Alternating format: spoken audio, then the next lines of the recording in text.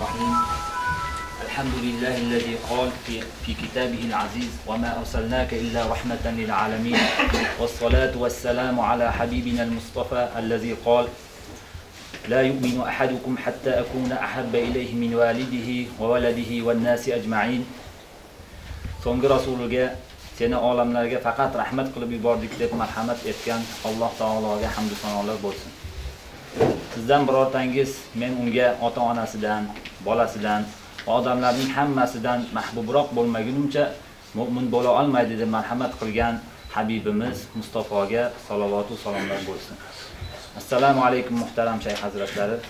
Assalomu alaykum anjumanimizning ishtirokchilari va aziz mehmonlar. Barchangiz bugungi anjumanga xush kelibsiz. Musulmonlar qadimdan rasululloh sollallohu alayhi vasallamning siyratlarini o'rganib u zotga baholu qudrat ergashishga harakat qilib keladilar ulamolar u zotning tavalludlari bolaliklari payg'ambar bo'lishlari va undan keyingi hayotlari barcha barchasini to'la o'rganib aniq belgilab chiqqanlar. Vaqt o'tishi bilan u zot alayhissalomning tavallud oylarini siyratni o'rganish oyi qilib bu oyni alohida bir kayfiyatda o'zgacha bir ruhda bayram qilib nishonlash go'zal an'anaga aylangan. Biz islomuz portali hamda hilol nashr nashriyot matbasi ijodiy jamoasi ham bugun ustozimiz shayx hazratlarining rahbarliklarida robiyul avval oyiga atab bugungi mavlud anjumanimizni tashkil qildik. Maqsadimiz payg'ambarimiz alayhissalotu vassalomning siyratlarini yanada chuqurroq o'rganish yaqindan tanish va tanitishdir. Alloh taolodan xayru barakot tilab anjumanimizni qur'oni karim tilovati bilan boshlaymiz. so'ng anjumanimizni ochib berish uchun so'zni shayx hazratlariga beramiz marhamat abbos أعوذ بالله من الشيطان الرجيم بسم الله الرحمن الرحيم يا أيها النبي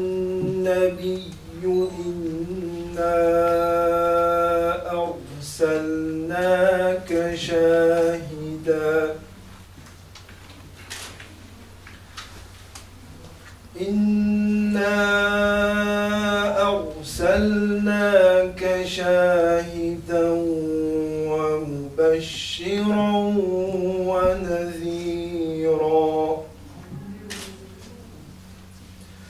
وداعيا إلى الله بإذنه وسراجا منيرا.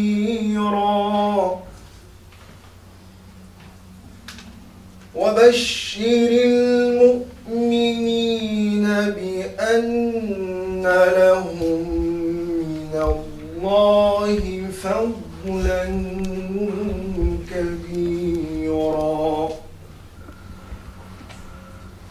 ولا تطع الكافرين والمنافقين ودع أذاهم وتوكل توكل على الله وكفى بالله وكيلا صدق الله العظيم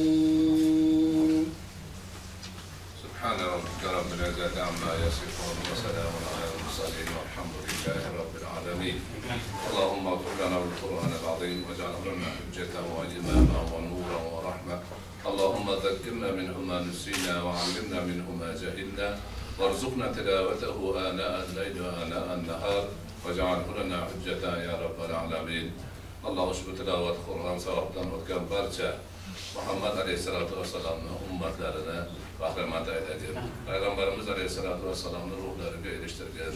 U kishiga aytilgan salovatlarimiz, duolarimiz hammasini o'zlariga erishtirgin. U kishini sharofatidan barchalarimizni Alloh taolo o'zing bahramand aylagin. Alloh ushbu ilmiy anjumanni xayr bilan, baraka bilan hammaga yaxshilik, foydali bo'lishi bilan o'tishini o'zing yordamchisi bo'lgin.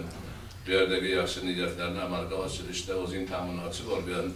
Payg'ambar alayhisolatu vassalomni mavlud oylarini bunga o'xshash quvonch quvonchlar bilan yana ko'proq o'tkazib borishimizda o'zing yordamchi bo'lgin bu narsalarni hammasini o'zimiz elimiz yurtimiz xalqimiz xalqimiz va butun dunyoga manfaatli bo'lishini o'zingni parvardigora oson qilgin ravon qilgin xayr barakatli qilgin va sallallohu بسم الله الرحمن الرحيم الحمد لله رب العالمين والعاقبة للمتقين والصلاة والسلام على خير خلقه محمد وعلى آله وأصحابه أجمعين السلام عليكم ورحمة الله وبركاته mavlud oyi mavlud marosimlari mavlud bayrami barchangizga qutlug' bo'lsin bu oyni alloh taolo barchalarimizga barakotli xayrotli bo'lishini xususan ushbu anjumanni ko'zlagan maqsadimizdan bir qancha afzal darajada natijali bo'lishini nasib etgan bo'lsin mavlid oyi nurning tug'ilish oyi insoniyatni jaholat botqog'idan omonlik qirg'og'iga chiqishining boshlanish oyi johillik zulmatlaridan islom nuriga chiqishning boshlanish oyi bo'lganligidan payg'ambar alayhissalotu vassalomning tug'ilishlari insoniyat tarixidagi eng muhim nuqtalardan bo'lishidir. Yomonlikdan yaxshilikka zulmatdan nurga xayr barakaga ko'chish nuqtasi bo'lganligidan o'ta ahamiyatli bir hodisa hisoblanadi. Ana o'sha e'tibordan rasuli akram alayhissalotu vassalomning shaxslari sifatlari sunnatlari siyratlarini yaxshiroq o'rganib xalqqa yetkazish maqsadida to'rtinchi hijriy asrda ulug' ulamolar islom millatining valiyil amirlari maslahatlashib shu rabiul avval oyini mavlud oyi bo'lishi ummatni rasuli akram alayhissalotu vassalomga yanada yaqinroq bo'lishi bilimlarini ziyoda qilishi ma'nosidagi bir ma'rifiy oyga aylanishiga asos solganlar. Mavlud munosabati bilan to'planish ikki xil bo'ladi. Ba'zi bir to'planishlar bayram ma'nosida e, xushnudlik qilish sovg'a ulashish beva bechoralardan xabar olish salovat aytish nasiblar aytish kabi e, xursandchilikni turli shar'iy yo'llar bilan izhor qilish ma'nosida bo'ladi. Ikkinchisi esa ilmiy asosda bo'ladi. Ya'niki bu mavlid degan e, marosimni mo'min musulmonlarga istehson yo'li bilan tadbiq qilib kiritishdan ko'zlangan asosiy maqsadga qaratilgan bo'ladi. Bu esa ilmiy harakat ilmiy suhbat ilmiy ma'lumotlarni kishilarga tarqatish orqali yuzaga chiqadi. Avvalgi e, tarzdagi bayram qilish ham ikkinchi va asosiy ma'nodagi ilmiy to'planishlar ham hammasi qur'oni karimni vama arsalnaka illa rahmatan lil alamin oyati asosida bo'ladi. Rasuli akram faqat va faqatgina butun olamlarga rahmat qilib yuborilganlarini eslash va eslatish uchun bo'ladi. Haqiqatdan u zoti va barakat nafaqat o'z ummatlariga balki butun olamlarga rahmat qilib yuborganlar nomusulmon insoniyatga ham hayvonot olamiga ham nabotot olamiga ham jamoadot olamiga ham va barcha va barcha olamlarga rahmat qilib yuborilganlar. Mavlud oyida ana o'sha rahmatning turli ko'rinishlari yuzaga chiqishi kerak. Odamlar shu narsalarni anglab olishlari kerak. Agar istaydigan bo'lsa har bir shaxs rasuli akram alayhissalotu vassalomning rahmat ekanliklaridan o'ziga xulosa va manfaat jalb qilish imkoni bor. Va har bir guruh har bir xalq va har bir qabila va hokazo va hokazo. Mana shu e'tibordan bugungi ilmiy anjumanni uyushtiruvchi azizlarimiz islom.uz portali va undagi turli saytlarni payg'ambar alayhissalotu vassalomning olamlarga rahmat ekanligini ilmiy asosda demak ko'rsatish va ko'rish uchun mana shu anjumanni tayyorlaganlar. Inshaalloh bu anjumanda irod qilinadigan so'zlar hammasi sof ilmiy xayr barakaga sabab bo'ladigan. Rasuli akram alayhissalotu vassalomni bizlarga yanada yaqinroq tanishtiradigan va u kishining odamlarga rahmat ekanlik ne'matidan foydalanishimizni yana ham go'zallashtiradigan bir anjuman bo'ladi degan umiddamiz. Alloh subhanahu va taolo barchaga o'zi tavfiq bersin ishlarini yaxshi ko'chishini nasib qilsin va so'zlanadigan so'zlarni hammasi barakotli hayratli bo'lishini alloh taoloni o'zi ta'minotchisi bo'lgan bo'lsin. Assalomu alaykum va rahmatullohi va barakatuh. Rahmat ustoz. Ma'lumki bu bu muborak oyda turli mavlud marosimlari o'tkaziladi. Biroq mavlud tushunchasining kelib chiqishi uni o'tkazishning shar'iy hukmlari haqida hammada ham ma'lumot yetarli emas. shu bois bu haqida so'zlab berishni muhtaram mubashshir ahmad domladan iltimos qilamiz. Ahmad domla bismillahi rohmanir rohim alhamdulillah vassalotu vassalamu ala rasulilloh assalomu alaykum. Hurmatli anjuman ishtirokchilari. Payg'ambar sollallohu alayhi vasallamning mavludlari munosabat bilan o'tkaziladigan ozroq qur'on qiroati va ko'proq shamoili nabaviyani zikr qilishdan iborat marosim. Agar shariatda yomon sanalgan bid'atlardan xoli bo'lsa baraka va ko'p xayriyatlari bor go'zal kishilar. Ushbu marosim haqida mulohazalardan oldin mavlud nabiyning nishonlanish tarixiga qisqacha nazar solsak. Mavludni nishonlash tarixi umuman olganda payg'ambarimiz muhammad sollallohu alayhi vasallamning o'zlariga borib taqaladi. Bu e, mavzuda shu e, ma'lumotlarni e, yig'ayotganimizda e, duch kelgan eng ajib holat mana shu bo'ldi. Ya'ni e, mavlid nishonati payg'ambar alayhissalom o'zlariga borib taqalar ekan e, buni dalili u zot sollallohu alayhi vasallam dushanba kunlari ro'za tutib men bu men tug'ilgan kun derdi buni imom muslim o'z sahihlarida abu qatoda roziyallohu anhudan rivoyat qiladi. Imom suyutiy zikr qilishlaricha mavlidni birinchi bo'lib muntazam va tantanali nishonlashni yo'lga qo'ygan kishi bu arbil hokimi hozir bu arbil e, iroqni shimolida joylashgan shahar abu said ko'kbo'ri ibn zayniddin ali ibn bektegin bo'lgan. Ahli sunna ulamolari mazkur hokimni va yo'lga qo'ygan yaxshi bid'atini olqishlashgan. Imom suyutiy va ibn kasirlar buyuk va ulug' podshohlardan edi. O'zidan ko'p yaxshi amallarni qoldirgan edi bu zotni sifatladisa hofiz zahabiy mutavozi va odobli inson edi. Fuqaho va muhaddislarni yaxshi ko'rardi deb zikr qiladilar. Ibn halikon hofiz abu hattob ibn dehyaning tarjima holini zikr qilib shunday deydi. Ya'ni hofiz abu hattob haqida gapirdi. U ulamoning taniqlisi va fuqaroning mashhurlaridan edi. Mag'ribdan yo'lga chiqib shom va iroqqa bordi. Arbilga 604 hijriy sanada kirdi. Uning buyuk podshohi muzaffariddin ibn zayniddin mavlid nabiyga juda qattiq e'tibor qilardi arbilni hokimi abu hattob uning uchun at-tanvir fi mavlidi fi mavlidil bashir nazir nomli kitob yozib o'zi unga o'qib berdi. Shunda hokim uni ming dinar dinor bilan mukofotladi. Tez kelganda endi hozir e, shu abu xattob at-tanvir fi mavlid bashir nazir nomli e, payg'ambar alayhissalomni shu siyratlari umuman shamoylari haqida kitob yozib taqdim etganliklaridan e, biz ham aytib qo'yishga maqsadga voqif bo'lgan bir nimaga duch keldik?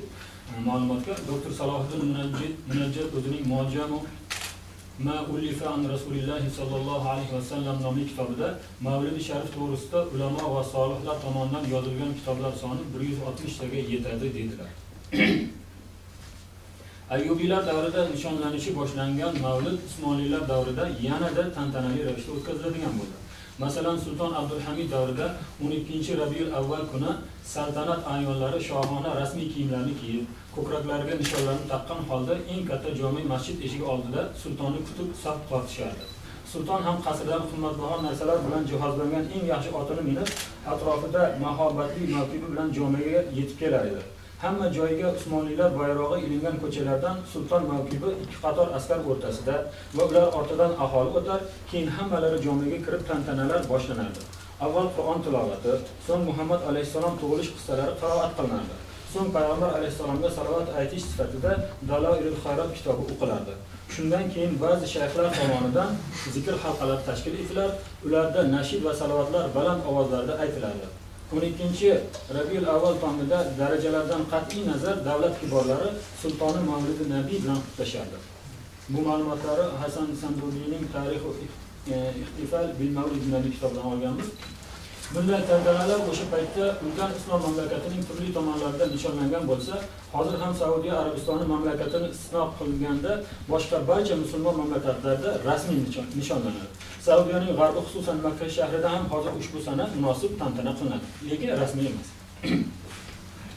Mavlidi e, nabiyni nishonlash haqida aksar islom ulamolari yaxshi fikrlar bildirganlar. Jumladan Ibn Jawziy Mavlidning fazilatlaridan biri o'sha yili murod va maqsadga tez yetish haqida bashoratdir desalar, Ibn obidin bilingki Mahmud bid'atlardan biri Rasululloh sollallohu alayhi vasallam tug'ilgan oilada qilinadigan Mavlidi sharif amalidir.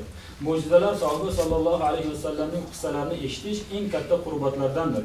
Chunki u ko'p mo'jiza va salovatlarni o'z ichiga olgandir deydilar Hofiz Shamsiddin ibn Nosiriddin Dimashqiy cho'risi Savbiya payg'ambar alayhissalom tug'ilganliklari bashoratini yetkazganda xursand bo'lib, uni ozod qilgani uchun Abu Lahabning do'zaxda azoblanishi dushanba kuni yengillatilishi xabari sahih sobitdir. Buni o'sha e, o'z davrini e, ulug' zotlari tushlarda ko'rib naql qilishadi.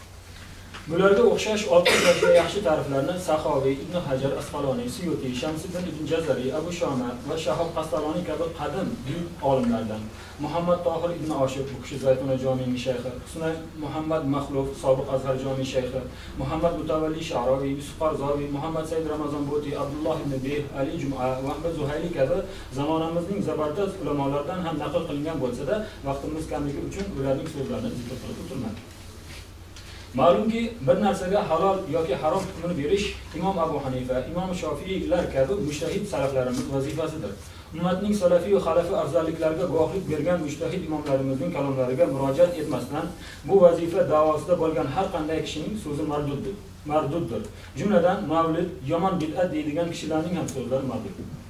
Rasululloh sollallohu alayhi vasallamning tug'ilgan sanalari munosabat bilan bo'ladigan zikr majlislarini payg'ambar alayhissalom qilmaganliklari hujjati bilan harom deyayotganlarga shunday javob qilamiz.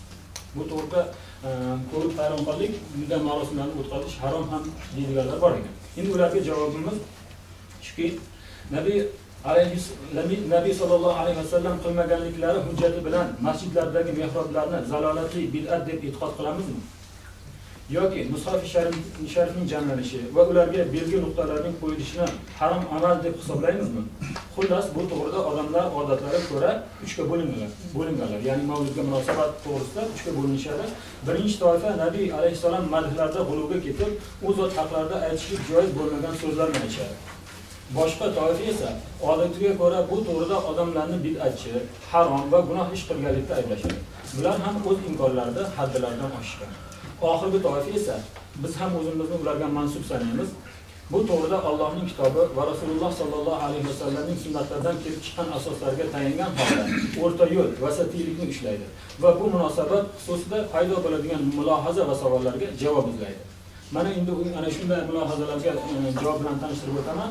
Birinchi mulohaza Mavlid nabaviyni nishonlash bid'at emasmikin degan mulohaza bor.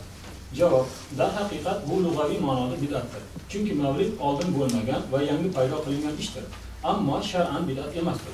Chunki u haqda shariatimizda tayinlanadigan asos bordir. Asos nima ekanligini aytishdan oldin ulamolarimiz bid'at haqida nima- nima deyishganiga nazar solamiz. Imom Ibn Rajab Hanbali aytadilar: Bid'at shariatda asosi yo'q narsani paydo qilishdir. Ammo shariatda dalilli asosga ega narsalar bid'at bo'lmaydi. Bu ma'nodagi ta'riflar boshqa ishonchli olimlar tomonidan ham qilingan bo'lib, ularning xulosasiga ko'ra, bid'at payg'ambar sollallohu alayhi vasallamdan qilganliklari g'orib bo'lmagan fe'l bo'lishidan tashqari, bu bitta shart bo'lsa. O'sha amalga shariatda asos bo'lmaslik ham talab etiladi bid'at bo'lishi uchun. Mavlid esa bunday bid'atlar sirasiga kirmaydi. Xo'sh, unda mavlidni nishonlashning shariatda qanday asosi bor degan savol paydo bo'ladi. Bu savolga javobni Shayxul Islom Ibn Hajar Asqaloniy ta'birlarida bayon qilamiz. U kishi shunday ta'bir bilan aytadilar: "Menga uning sobit mustahkam asosga ega ekanligi ma'lum bo'ldi. Bu asos sahihaynda kelgan ushbu hadis hadisda sobitdir. Payg'ambar alayhissalom Madinaga kelgan paytlarida yahudiylarning Oshuro kunida roza tutishganini ko'rdilar va ulardan bu haqda so'raganlarida ular bu kunda Alloh Fir'avnni g'arq qildi va Musa alayhissalomga najot berdi. Shunga biz Allohga shukr qilib roza tutamiz deyishdi. Bu rivoyatdan muayyan kunda ne'mat yog'ilgani yoki zulm ko'tarilganiga shukr etib, biroq amal qilish va uni har yili qaytarish mumkinligi istifoda etiladi. Mana shu demak shar'iy asos bo'ladi. Undan keyin yana bir mulohaza bor. payg'ambar sollallohu alayhi vasallam mavludlarni nishonlashga buyurmaganlar balki buni tark etganlar rasululloh sollallohu alayhi vasallam buyurmagan ishlarni qanday qilamiz degan mulohaza bunga javob shuki rasululloh sollallohu alayhi vasallam buyurmagan bo'lsalar nahiy ham nahiy ham qilmaganlar. Nahiy qilganlar degan odamda odam esa dalil keltirsin. Qolaversa rasululloh sollallohu alayhi vasallam zob yemaganlar yemasliklari harom yoki makruhligidan emasdir. Sahobalar esa yeyishgan. Alloh taolo astag'firullah va ma atakumur rasulu va ma nahakum anhu fantahu deydi. Rasul keltirgan narsani oling va u sizni nimadan qaytargan bo'lsa to'xtang. Э, degan ushbu oyatni yaxshilab mulohaza qiladigan bo'lsak biz payg'ambar alayhissalom qaytargan narsalarni tark etish etishimiz lozimligini tushunamiz mana shu oyatdan. Lekin u zot sukut etgan narsalarni nima uchun qo'rqmasdan harom deyishimiz kerak? Bu oyatda unday narsa yo'q to'rtinchi mulohaza mavlidni o'tkazishga muayyan kun yoki kunlar belgilab qo'yilgan. Lekin bunday xoslash joiz emas bu shoriy tomonidan bunaqa xoslanmagan bu nega endi xoslaymiz degan mulohaza. Bunday mulohazaga ya'ni bunday savolga savollar bilan javob qilamiz. Umar ibn hattob roziyallohu anhu hijriy taqvimning boshlanishiga kun xoslab qo'ymaganlarmi? Yoki abdulloh ibn masud roziyallohu anhu har payshanbani dars berish uchun belgilamaganlarmi yoki kaba musharrafaga kaba qo'shini kiydirishga kun tayin qilingani ham bid'atmi qolaversa alloh taoloning ne'matlarini eslash uchun eng munosib vaqt o'sha ne'matlar hosil bo'lgan kunlar emasmi? Beshinchi mulohaza. Mavludni juda bo'lmaganda e, sadda bu usuldagi sadda zariya qoidasi sadda zariyaga binoan va uni nishonlashdagi gunoh ishlarga ko'ra man etish lozimku degan mulohaza. Javob shuki bunga ushbu tushuncha bo'yicha xamir ishlab chiqiladi deb sadda zariya uchun uzum ekishni ham man qilish kerakmi? Imom qarofiy aytadilar zariyani to'sishdagi mubolag'a uni ochishdagi mubolag'aga o'xshaydi. Ikkovi ham tuzatishdan ko'ra buzadi va foyda berishdan ko'ra ko'proq zarar keltiradi. Har qanday narsada mubolag'a shunaqangi e, natijaga olib boradi. Shuning uchun ham bizning mazhabimizda mazkur qoidaga ko'p murojaat qilinmaydi kerakli o'rinlardagina murojaat qilinadi oltinchi mulohaza arab mamlakatlarida bu kun idi mavlid deb ham nomlanadi. Islomda esa faqat ikkitagina id bor. Shu tomondan ham bu yaxshi emas bu degan mulohaza. Javob. Dengiz cho'chqasi cho'chqa nomi bilan atalgani uchun harom bo'lganmi? Yoki foyda deb nomlangani bilan riboni halol deya olamizmi? Nomlar o'zgarishligi demak o'sha narsani mohiyatini hech qachon o'zgartirmaydi. Istilohlar haqida bahs qilishning keragi yo'q. Chunki id so'zining lug'aviy ma'nosini ko'rsak u qaytish ma'nosini bildiradi. Ya'ni har yili qayta kelgani uchun id deyiladi. Tabiiyki mavlidni i deyilganda shar'iy ma'nosini nazarda tutilmayapti. Shuning uchun ham bizning diyorlarda uni i deyilmaydi. Balki mavlid deb aytamiz. Endi yuqorida aytganimiz biz bu masalaga baho berishda vasatiylikka amal qilishimizdan kelib chiqib bu marosimni boshqa tomondan ham mulohaza qilib ko'rsak. Mavlid marosimini nishonlash mumkinligi keltirgan dalillarimiz uning farz yoki vojib ekanligini ko'rsatmaydi. Balki sevimli payg'ambarimiz muhammad sallallohu alayhi vasallamga mehrimiz tog'lanib muhabbatimiz jo'sh urganidan nishonlaydigan mavlid mavlid marosimlarimiz yaxshi va solih amallar qatoriga kiradi. Ammo bu marosimni farz darajasida muhim amal deb ko'rib g'uluvga ketishdan ham boshqa haqiqiy yomon bid'atlar yuzaga kelishligi mumkin. Masalan bu bid'atlardan biri sifatida bunga man o'zim ko'p guvoh bo'ldim. Boshqa biror musibat tushganda yoki xasta bo'lgan xasta bo'lganda mavlid o'qitib yuborish kerak mavlid o'qitib yuborish kerak degan fikrning yuzaga kelishini demak bunga misol qilsak bo'ladi. Bunda mubtalo bo'lgan kishi o'z muammosini yechimini qidirmaydi sabablarni ushlamaydi yoki davolanmaydi. Balki o'zi ma'nosini mohiyatini anglamasada mavlud o'qitib yuborish kerak degan fikrga keladi. Bu bilan u payg'ambarimiz sollallohu alayhi vasallamga muhabbatimiz ramzi bo'lgan mavlidni omma nazdida xurofiy unga qarshilar fikricha esa bid'ati sayyi'a amalga aylantirib qo'yadi. Bu bid'atni yechimi sifatida biz xalq orasida mavlud mavludning mazmun mohiyatini tushuntirish lozimligini mavlud matnlarini o'qiyotgan kishilarga esa uning ma'nosini ham tushuntirib berishlarini tavsiya qilgan bo'lardik. Shunda mavlid boshqa ish tushganda o'qiladigan xurofiy marosim emasligi va asosiysi mavliddan ko'zlangan maqsad payg'ambar sollallohu alayhi vasallamning tavallud- tavalludlari insoniyatga bergan allohning ne'mati ekani va biz mavlid o'tkazish bilan ushbu ne'matga shukrona izhor etayotganimiz. Yana habibimiz muhammad sollallohu alayhi vasallamni xalqimizga yana bir bor tanishtirish ishiga hissa qo'shayotgan bo'lamiz. Ushbu fursatdan foydalanib o'zimning ayrim e, takliflarimni ham bildirib o'tmoqchi edim. Ushbu masalada birinchidan shunday marosimlardan janobimiz sollallohu alayhi vasallamni tanishtirishda unumli foydalanish uchun e, ko'pchilik bo'lib to'planib bir tavsiyalar ishlab chiqilsa maqsadga muvofiq bo'ladi. Ikkinchidan ana shunday unumli ishlardan biri sifatida rasululloh sollallohu alayhi vasallamni ulug'langan salovatlar va nashidlar majmuasini e, endi mp3 shaklida tayyorlansa.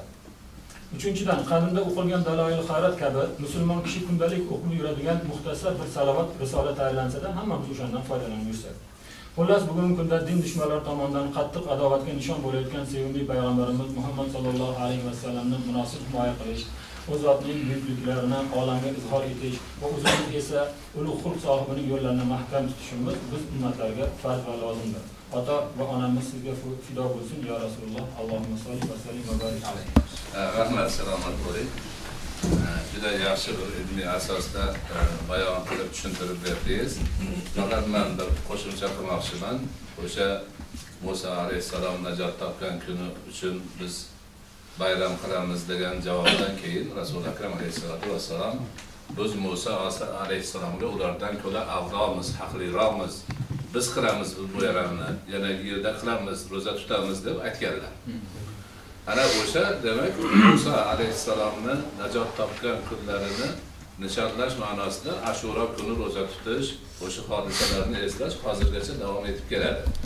Bizga e, mavludni shunaqa har yili bayram qilishga dalil bo'ladigan joyi mana shu yerda. Rahmat salomat. Bo'ling nomi Alloh taolo o'zining habibiga Muhammad deb ism qo'yilishini iroda etgan. Bu ism doimo maqtaluvchi, maqtovga loyiq degan ma'nolarni bildiradi. Dar haqiqat mana 15 asr u zotni do'stu dushman barobar maqtab keladi.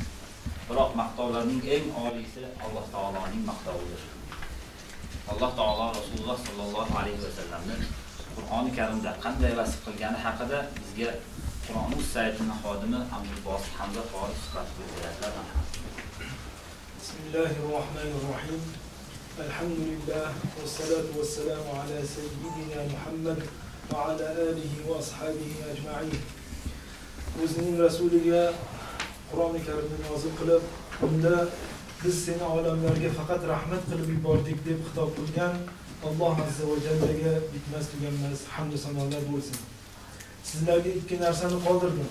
Agar ularni mahkam tutsangiz hech adashmaysiz. Bular allohning kitobi va mening sunnatimdir deb bizga vasiyat qilgan habibimiz muhammad mustafa sollallohu alayhi vasallamga salovati durudlar bo'lsin.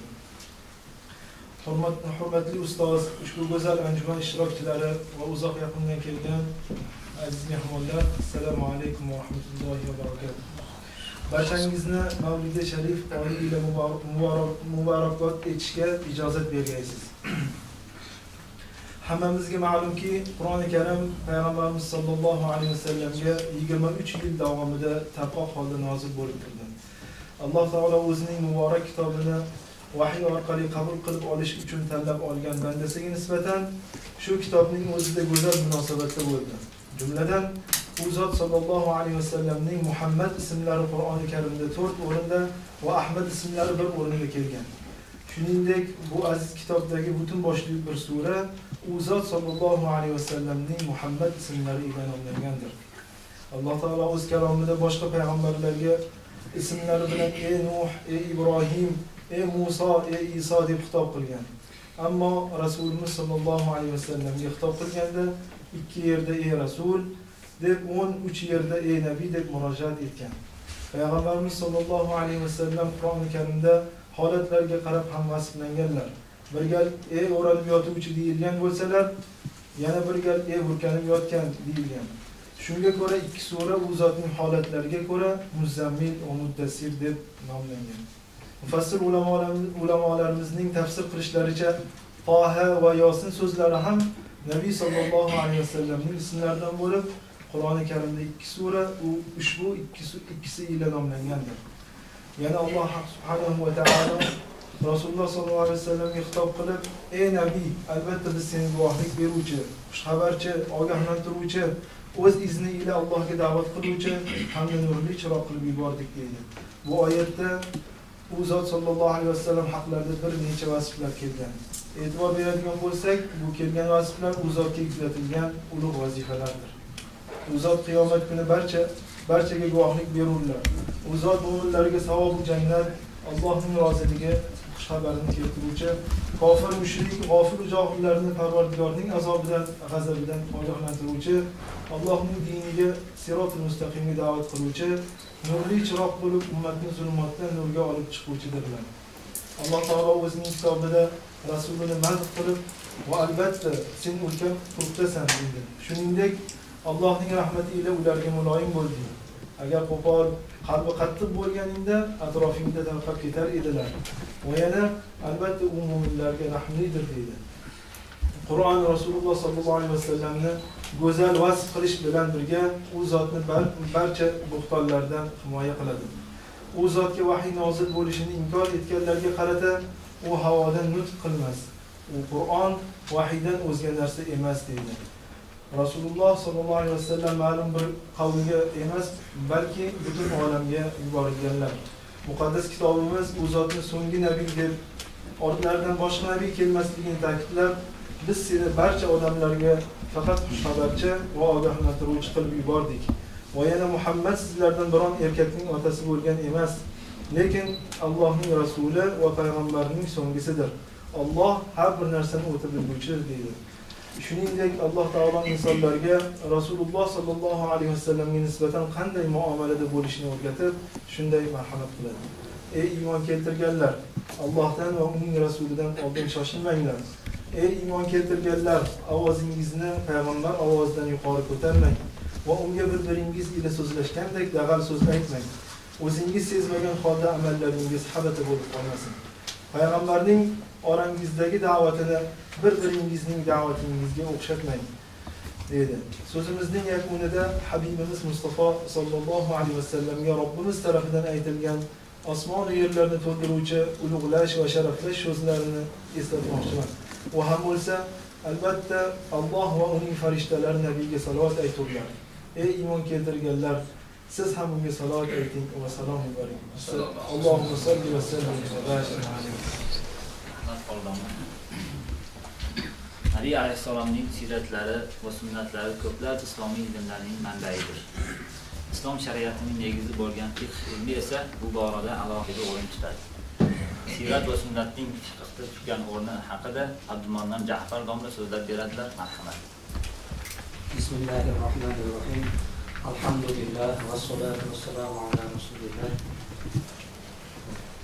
Mukammal dinni qiyomatga doğru dasturul amal bo'lishlikka loyiq bo'lgan dinni nozil qilgan allohga hamdu sanolar bo'lsin kimga alloh kimga yaxshilikni iroda qilsa uni dinda faqih qilib qo'yadi degan payg'ambarimiz sollallohu alayhi vasallamga durudu salovatlar bo'lsin payg'ambarimiz sollallohu alayhi vasallam bizlarga marhamat qilib aytadilarki men sizlarni ichingizda ikki ishni qoldirdim. Modomiki uni mahkam tutar ekansiz hargiz adashmassiz u Allohning kitobi va rasulining sunnati deb marhamat qildilar. Ya'ni payg'ambarimiz sollallohu alayhi vasallam dunyoga kelar ekanlar 63 yil mobaynida davomida hayot kechirar ekanlar va dorul baqoga hijrat qilar ekanlar. U zot har birimizning qo'llarimizga Allohning kitobini tutqazib yana o'zlarining sunnatlarini qoldirib ta'lim berib aytdilarki go'yoki buni yaxshilab o'rganinglar va mening bosgan har bir qadam izlarimni qidiringlar. O'rganinglar o'sha izlarni ustilariga oyoqlaringizni qo'yib o'sha izdan yurib boringlar. Shunda adashmay boradigan manzilingiz albatta jannat bo'ladi degandek bo'ldilar. Go'yoki rasululloh sollallohu alayhi vasallam qadam izlaridan murod e'tiqod bobida u zot e'tiqod qilgan narsalar. Ibodat ibodat bobida o'zlari amal qilib unga amal qilishlarimizga buyurgan narsalar. Muosharat bobida o'zlari yon atrofidagilarga qilgan muomalalari. Tijorat har bir kasb hunarda qilgan sunnatlari esa halol haromni o'rganishliklarida qoldirgan sunnatlari esa xulq va ularda o'zlari o'rnak bo'lib ummatiga uni chorlagan narsalardan iborat hisoblanadi. Payg'ambarimiz sollallohu alayhi vasallam sunnatlarini alloh taolo qur'oni karimda u zotni maqtagan o'rinlarni bir necha o'rinlardan birida zotga qarata va yuallimukumul biz ummatlarga qarata aytadiki va yuallimukumul yatlu alaykumul qur'an. Sizlarga qur'onni tilovat qilib beradi. Va yuallimukumul kitob sizlarga kitobni ta'lim beradi. Val hikmata so'zini ham Alloh taolo qo'shib qo'ygan hikmatdan murod nima degan desalar hikmat bu sunnat deb aytgan ekanlar. Ya'ni Allohning kitobida zikr qilingan sunnat bu hikmat. Har bir sunnat boriki uni ostida albatta bir hikmat bordir. Har bir hikmat boriki u agar haqiqiy hikmat bo'ladigan bo'lsa uni borib taqalgan joyi albatta sunnat bo'lib chiqadi. Insonlar hozirgi kunda qancha bir ishlarni o'zlariga hikmat deb tanlayotgan bo'lsalar agar oxiri surishtirib borib sunnatga taqalsa albatta hikmat. Yo'q agar u oxiri borib sunnatga taqalmas ekan bir necha yil o'tgandan keyin quruq havodan yoki adashishlikdan iborat bir odatgina bo'lib qolyapti xolos.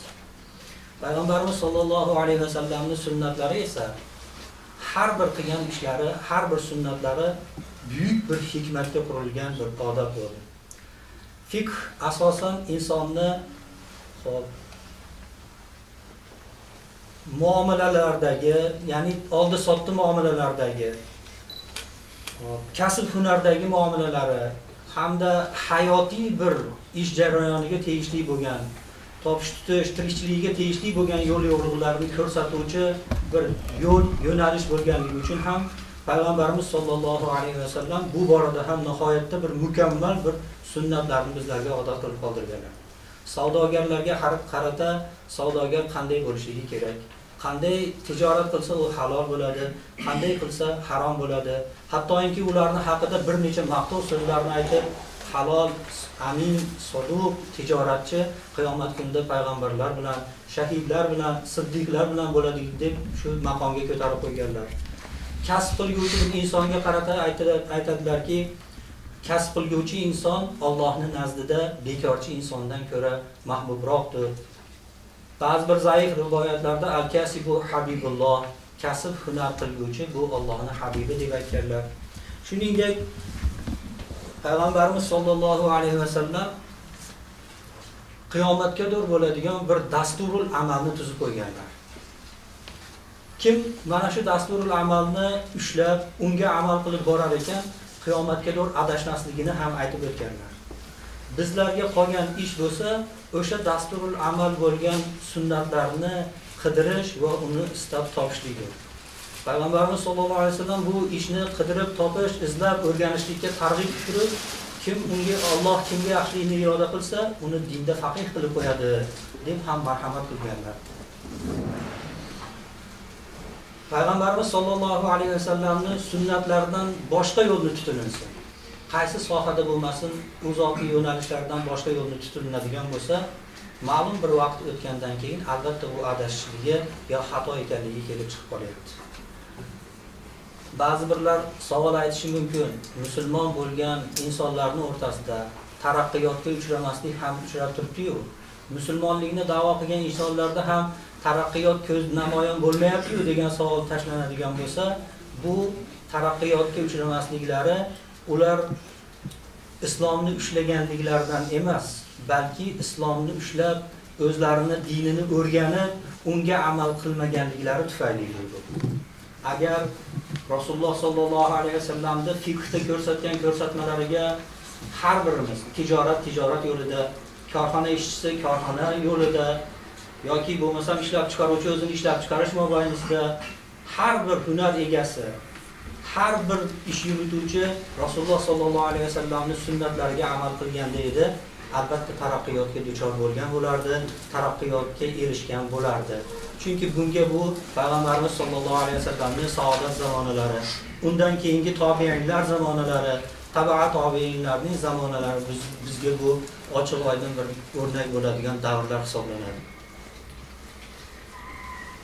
Oddiy bir payg'ambarimiz sollallohu alayhi vasallamni bitta sunnatlarini ushlashdik tahoratda insonni har kunda 5 vaqt namoz o'qish vaqtida betahorat insonga tahorat qilishlikni mana farz deyilgan.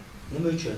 Hikmati nima hikmat shuki insonni o'sha tahoratda yuvinadigan a'zolariga mana hozirgi kunda tilga olinayotgan mikroblar yopishar ekan. Inson boshini ushlaydi qo'lini ushlaydi kimlar bilandir so'rashadi qaylargadir kiradi qaylargadir chiqadi. Shu mobaynida insonni o'sha tahoratga yuviladigan a'zolaridan shunaqangi bir mikroblar e, ilashib qolishligi bo'larkan yoki taom yeganda og'iz ichidagi havo og'ziga chiqib qolishligi yoki burni ko'zi quloq oyoq qo'l shu narsalarda o'sha e, shunaqangi insonni sihatiga zararli bo'lgan narsalar ilashar ekan. Shu besh vaqt namozga shu narsalarni yuvib turishlik bilan bo'lsa o'sha salomatlikka qarshi bo'lgan narsalar tozalanib inson salomatlikda bo'lar ekan. Dunyo ulamolarini hammasi hozir nima bir yangi kashfiyot qilmoqchi bo'lsalar sunnat tarafiga qarayaptilar. Oxiri borib surishtirib chiqsalar tagi sunnatga o'tib chiqyapti. Tahorat tomonidan surishtirib chiqishuvdi. Tahorat hammasi poklik eng poklik nimada ekan oxiri kelib chiqqan joyi islomdagi tahorat bo'lib chiqib ketdi. Ya'ni beshala a'zo. Xossatan shu beshala a'zo. Oddiy bir misol. Sog'lik to'g'risida bir odam men deydi tahorat qilyapman. Yevropa mamlakatlarida tahorat qilyapman. Tahorat qilib bo'ynimga mahs tortdim gardanimga mahs tortdim. Uzoqda bir o'sha g'ayridin inson men qarab turgan ekan tahoratimdan keyin oldimga keldi deydilar. Kelib menga qarab turib siz bu amalni qachon qayerdan o'rgangansiz? Qaysi amalni? Bo'yniga suv tekkizib qo'yishlik amal men buni hech qayerdan biz shariatimizdagi bir mustahab amal bu. Rasululloh sollallohu alayhi vasallam gohida qilib gohida qilmagan amal. Men mana shu ish borasida bir 10 yilcha tajriba o'tkazdim. 10 yil umrimni sarfladim. Shu oddiy bitta siz qilgan amalga. Insonni shu gardanida shu odam har bir ma'lum bir vaqtda charchashlik miyada toliqishlik hosil bo'ladi. Shu mahsulot o'tkazib oddiy namlikni tekizib qo'yishlik bilan yana qayta o'z faoliyatini ishga olib boradi tetiklashadi dadillashadi, shu narsa hosil bo'ladi. Sizni tajribangiz bilmadimu lekin bu bizni dinimizdagi oddiy bitta mustahab amal. Fiqhiy jihatdan olib qaraganda bitta mustahab amal xolos bu bitta mustahab bo'lgan amal xolos qolgan masalan tahoratdagi namozdagi ro'zadagi bo'lak bo'lak ibodatlarimizdagi oiladagi tashqi muomaladagi har bir sunnatlar bu insonni albatta albatta insonni salomat bo'lishligiga salomat e, oila qurilishligiga farovon turmush bo'lishligiga salomat jamiyatni salomat oilani salomat qo'ni qo'shnichilikni taqozo qiladigan narsalar bu sunnat payg'ambarimiz sallallohu. Bizda qolgan narsa taraqqiyotga erishmasligimiz yoki qaysidir bir namozni orqada qolishligimiz bu biz uni o'rganmasdan unga amal qilmasligimizda deb o'ylayman alloh barchalarimizni rasululloh sollallohu alayhi vasallam sunnatlariga avvalo o'rganib so'ng unga amal qilishligimizga barchalaringizga tavfiq ato qilsin Karam Abu domla aytganlaridek Rasululloh sollallohu alayhi vasallamning siratlari, sunnatlari hayotimizning barcha jabhalari uchun manbadir. shuningdek tabobat ilmi uchun ham manba hisoblanadi. Hadis kitoblarimizda nadaviy tabobat deb alohida boblar ochilgan. Bu borada alohida kitoblar ta'rif etilgan. Bu borada alohida kitoblar ta'rif etilgani fikrimizni dalilidir. Shu mavzuda suhbat qilib berish uchun istanbul sayt xodimi behzodiyga so'z beramiz. Marhamat. Bismillahi rohmanir rohim robbil alamin. Salatu wassalamu ala rasulillah wa ala alihi wa sahbihi ajma'in. Assalamu alaykum va rahmatullohi va barakatuh. Imam Ahmad Abu Bakr Siddiq radhiyallahu anhu dan rivoyat qilgan hadisi sharifda quyidagilar aytiladi. Allohdan yaqinni va mustahkam sog'liqni so'ranglar. Hech bir kimsaga yaqindan keyin ofiyatchalik yaxshi narsa berilmaydi. Albatta, salomatlik inson uchun uning hayotidagi eng muhim narsadir. Agar sog'liq bo'lmasa dunyoning boshqa hech qanday ne'matlari tatimaydi buni har birimiz juda yaxshi bilamiz. Sog'liq salomatlik allohning o'z bandasiga bergan eng buyuk ne'matlaridan biridir. Shunday ekan albatta biz bu ne'matning qadriga yetishimiz uni avaylashimiz va uning shukronasini keltirishimiz zarurdir. Bu borada bizga muallimlik qilgan bizga o'rnak bo'lgan zot payg'ambarimiz muhammad sallallohu alayhi vasallam. Biz bugun ilm fan texnika texnologiya taraqqiy etgan va taraqqiy etayotgan zamonda yashab kelmoqdamiz. Har bir sohada misli ko'rilmagan yutuqlarga erishilmoqda jumladan tibbiyotda ham. Biroq shunday bo'lishiga qaramasdan bugungi kun zamonaviy tibbiyoti yangilik deb namoyish qilayotgan ko'pgina holatlarni musulmonlar 15 asrdan beri bajarib kelishmoqda. Chunki bu payg'ambar alayhissalom sunnati o'laroq ibodat darajasiga ko'tarilgan hol kasallikni davolashdan ko'ra uning oldini olish osonroqdir. Tibbiyotda profilaktika ya'ni kasallikning oldini olish chora tadbiriga jiddiy ilmiy tarzda yondoshish boshlanganiga 100 yildan sal ko'proq vaqt bo'ldi. Biroq payg'ambarimiz muhammad sallallohu alayhi vasallam qoldirgan sunnatlari bu borada musulmonlarni har xil kasalliklardan saqlab kelmoqda. Buni biz u zotning poklik haqidagi hadislardan bilamiz. Zotan poklik bu kasalliklarning oldini olishdagi eng muhim o'rinlardan biridir. Imom muslim abu molik al shariy roziyallohu anhudan rivoyat qilgan hadis sharifda payg'ambarimiz sollallohu alayhi vasallam poklik iymonning yarmidir deydilar. Musulmonlar ommasi ichida esa poklik iymondandir degan hikmatli so'z keng tarqalgan. Imom molik imom ahmad va boshqa abu said al qudriy roziyallohu anhudan rivoyat qilgan hadis sharifda payg'ambarimiz sollallohu alayhi vasallam quyidagilarni aytadilar. Har jumada g'usul qilish va bir va har bir balog'atga yetganga vojibdir. Imom buxoriy va imom muslim abu hurayra roziyallohu anhudan rivoyat qilgan hadis sharifda esa har bir musulmon uchun yetti kunda bir marta boshini va jasadini yuvmoq lozimdir deyilgan. Karantin tushunchasi tibbiyotda faqat 18 asrning oxirlarida qo'llanila boshladi. Bu borada rasululloh sollallohu alayhi vasallamning ko'rsatmalari barcha musulmonlarga 15 asrdan beri ayon. Buni quyidagi hadisdan bilib olsak bo'ladi. Rasululloh sollallohu alayhi vasallam vabo balo yoki azobdir. U bani isroilga yoki sizdan oldin o'tgan kimsalarga yuborilgan edi. Qachon uning biror yerda paydo bo'lganini eshitsangiz u yerga bormangiz agar u siz turgan joyda voqe bo'lsa undan qochib u yerdan chiqmangiz dedilar. Bugungi kunda karantin tushunchasi buni yaqqol namoyon qilib turibdi. Mahbubimiz rasululloh sollallohu alayhi vasallam shaxsiy gigiyena ovqatlanish gigiyenasi borasida ham ummatga sunnatlarni qoldirganlar. Jumladan tirnoqlarni doim olib yurish xosatan gijja kasalliklarini oldini olishdan taomni issiq holda yemaslik qizilo'ngach saratoni kasalligini oldini olishdan qorinning bir qismi taom bir qismi suv va bir qismi havo bilan to'lishi kerakligi me'da ichak kasalliklarini oldini olishda nafl ro'za tutilishi bugungi kunda o'z isbotini topgan ochlik bilan davolashning o'zginasidir. Payg'ambar alayhissalom hayotlaridan davolash borasida ham ko'pgina o'g'itlar olishimiz mumkin. Jumladan u zotning parhez haqidagi gaplari bugungi kundagi qandli diabet gepatit kabi og'ir kasalliklarning davosidagi eng muhim omillardan ekanligi zamonaviy tibbiyot ta'kidlab turibdi. Payg'ambar alayhissalom xurmoni yaxshi ko'rib yer edilar va uning kasallikka davo bo'lishini ham bilar edilar. Saad ibn abu vaqqos roziyallohu anhu aytadilar bemor bo'ldim bas nabiy sollallohu alayhi vasallam meni ko'rgani kelib qo'llarini ikki ko'kragim orasiga qo'ydilar. Uning sovug'ini qalbimda his etdim. So'ngra u zot sen yuragi xasta odam ekansan. Saqiflik xoris ibn kallaning oldiga bor. U tabiblik qiladigan odam. Bas u madinaning ajvasidan yetti dona xurmo olib danagi bilan tuysin so'ngra senga ichirsin dedilar. Bugungi kunda xurmoning bir qancha kasalliklarga davo ekanligi zamonaviy fan tomonidan isbotlangan. Payg'ambar sallallohu alayhi vasallam hijoma qildirar edilar bugungi kunda hijoma ya'ni bir miqdorda qonni chiqarib tashlash zamonaviy tibbiyot ham tasdiqlab turibdi. Va ayniqsa buning immunitetni ko'tarishida juda katta omil ekanligini isbotlab ham berdi. Butunjahon sog'liqni saqlash tashkiloti tomonidan berilgan ma'lumotlarga ko'ra bugungi kunda infarkt va insult o'limga sabab bo'luvchi kasalliklar ichida eng birinchi o'rinlarda turadi. Payg'ambar alayhissalom sunnatlari bo'lmish tahajjud namozi infarkt va insult kabi kasalliklarni oldini olish borasidagi muhim chora tadbirlardan biri ekanligini olimlar tan olishdi. Bu borada tib islom suhbatida atroflicha maqola berilgan. Payg'ambar alayhissalomning sunnatlari nafaqat tana sog'ligi balki ruhning sog'ligi ham zamonaviy tushunchada aytilganda psixikaning salomatligi ham keng qamrab olgan. Zamonaviy psixologlar yuz yildan buyon ishlab chiqqan usullari o'rgatayotgan o'gitlari insonlar orasidagi munosabat va insonning insonga jamiyatga va umuman dunyoga bo'lgan munosabati borasidadir bu borada rasululloh sollallohu alayhi vasallam hayotlari shundoqqina namunadir agar bugungi kun zamonaviy psixologlar o'z qarashlarini islom dini asosida ishlab chiqib payg'ambarimiz hayotlarini u zotning insonlarga dunyoga bo'lgan munosabatlarini shablon qilib olsalar yetarli bo'lar edi.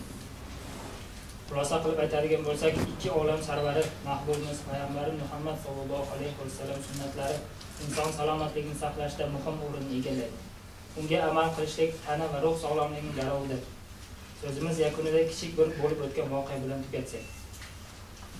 Germaniyada musulmonning bolasi dunyoga keldi. U barcha amallarni sunnatga muvofiq qilmoqchi edi. Yettinchi kuni sochini oldi tillada sadaqa berdi. Bir necha kundan keyin ular bolani shifokor ko'rigiga olib borishdi. Shifokor bolani ko'zdan kechirib ajablangan holda so'radi. Bolaning sochini sizlar oldilaringizmi yoki shunday tug'ilganmi? Bolaning onasi o'zimiz oldik dedi. Shunda shifokor o'zining ajablanishini tushuntirdi. Ellik kun oldin bizning olimlar fanda yangilik ochishdi agar bola tug'ilgandan keyin qirq kun mobaynida sochi olinsa uning ko'rishi o'tkir sochlari mustahkam bo'lar ekan.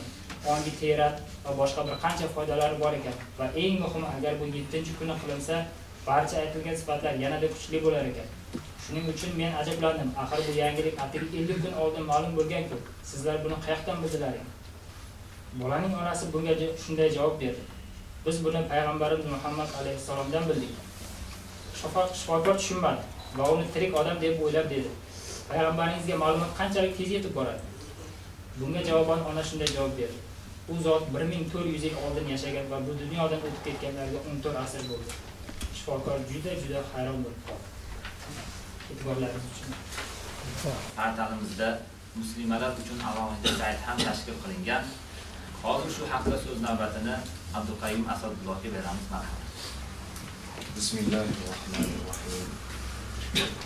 O'zining aziz kitobida Nabiy mo'minlar uchun o'zlaridan ko'ra haqlidir. Uning ayollari esa ularning onalaridir deb marhamat qilgan Alloh subhanahu va taologa cheksiz hamd va sanolar bo'lsin. Menga dunyoda xushbo'y va ayollar mahbub qilindi degan suyukli payg'ambarimiz Mustafa sallallohu alayhi va sallamga eng komil salovat va salomlarimiz bo'lsin. Assalomu alaykum va rahmatulloh va barakatuh. Muhtaram ustozlar, anjuman ishtiroklar, ishtirokchilari, aziz mehmonlarimiz, hammamizga Mavlidi Sharif oyi muborak bo'lsin. Payg'ambarimiz sollallohu alayhi va sallam har bir ishda butun olamga o'rnak bo'lib kelganlaridek, ayollarga bo'lgan munosabatlarda ham eng go'zal namuna va ibrat bo'lganlar. Bu go'zal namuna haqida ko'p gapirish mumkin.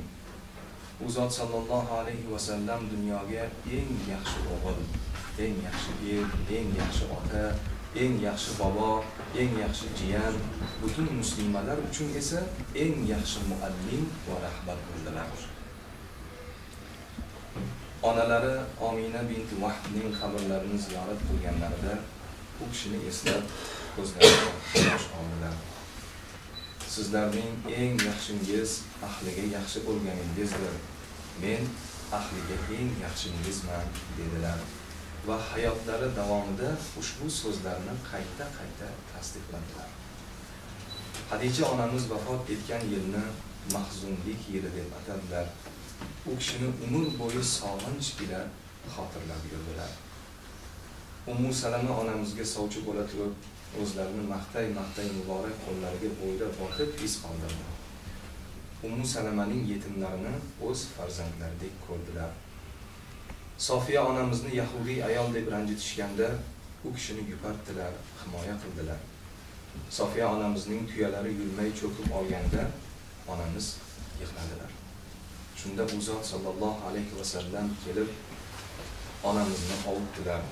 Ko'zlaridagi yoshni muborak qo'llari bilan artdilar. Oysha onamizni eng suyukli kishim deb e'lon qildilar.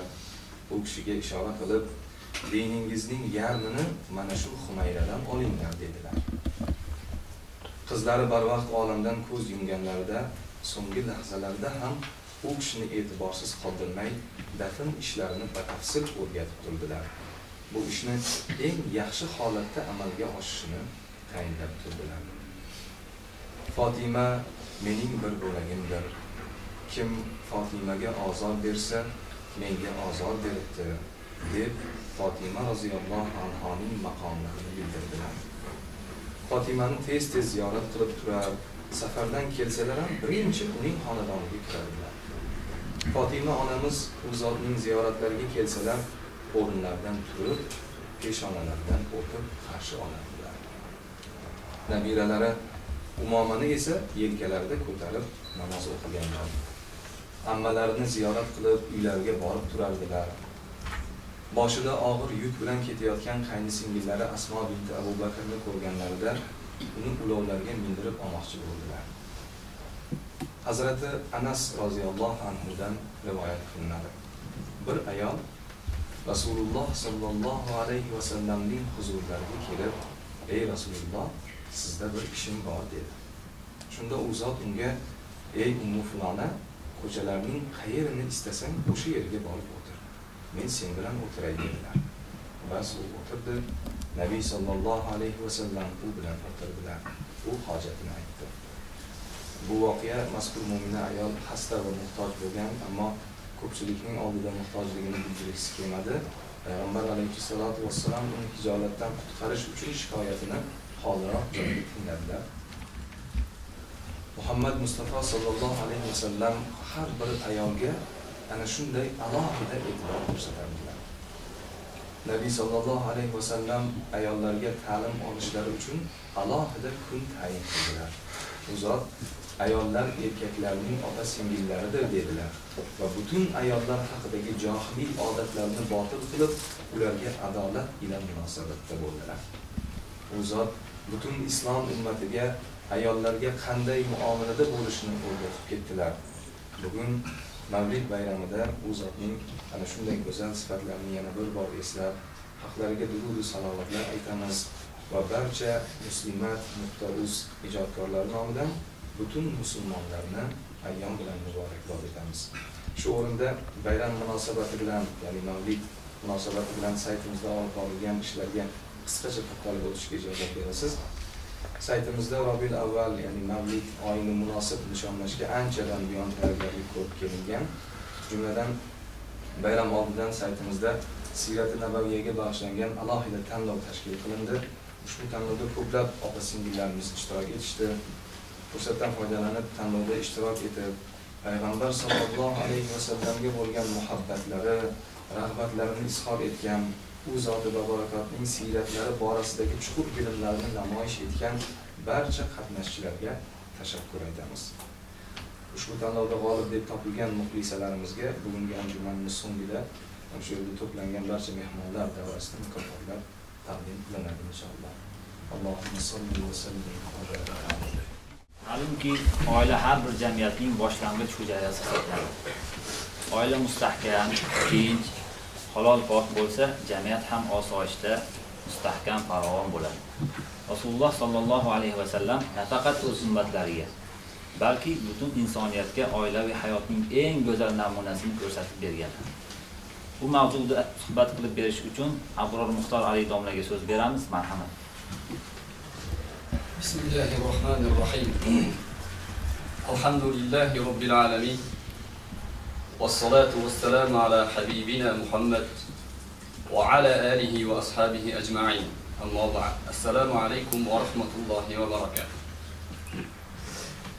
Nabiy sallallohu alayhi vasallamning adolatli hayotlari u zotning Alloh taolo tomonidan yuborilgan haq payg'ambar ekanliklarini doimo bildirib turadi. Rasululloh sallallohu alayhi vasallam ahli ayollari bilan go'zal va muloyim muomalada bo'lardilar. Ular bilan suhbatlari halovatli va rohat baxsh edi. Ayollari u zotning muborak og'izlaridan chiqadigan so'zlariga mushtoq bo'lib turishardi. Agar gapirsalar, mahzun qalblari sururga to'lar, tabassum qilsalar, zimiston kechalar yorishganday bo'lib ketardi. U zot barcha ayollari bilan adolat ila muomala qilardilar. Oysha onamizga muhabbatlari ko'proq bo'lsa-da, o'zaro muomalada barchalariga barobar edilar. Bir kuni Rasululloh sallallohu alayhi vasallam Oysha onamiz bilan yugurish musobaqasi o'tkazdilar va ortda qoldilar. Bir muddatdan so'ng yana musobaqalashib, Oysha onamizdan o'zib ketdilar va haligi bilan biri bir bo'ldi dedilar. Bu lutf va nazokat bizga Habibimiz sallallohu alayhi vasallamdan meros qolgan. Ammo bugun bu merosdan ko'pchiligimiz mahrummiz. Ushbu lutfni boshqa onalarimiz ham talab qilganlarida albatta ularga ham shu kabi go'zal muomalani qilgan bo'lardilar. Boshqalarni ham o'zlari kabi ahli oila bilan chiroyli muomalada bo'lishga targ'ib qilardilar. Bir hadisi shariflarida Allohning zikri bo'lmagan har bir narsa xato va behudadir. Faqat to'rt narsa bundan mustasno deb kishining o'z ahli ayoli bilan hazillashishligini behuda bo'lmagan shu to'rttaning ichida zikr qildilar. Bu bilan ummatlar uchun ayollarga go'zal muomala qilish ta'limini berdilar. Nabiy sallallohu alayhi vasallamning xonadonlarida ayol kishiga ko'rsatilgan hurmat va ehtiromni tarixning biror sahifasida uchratish amri maholdir.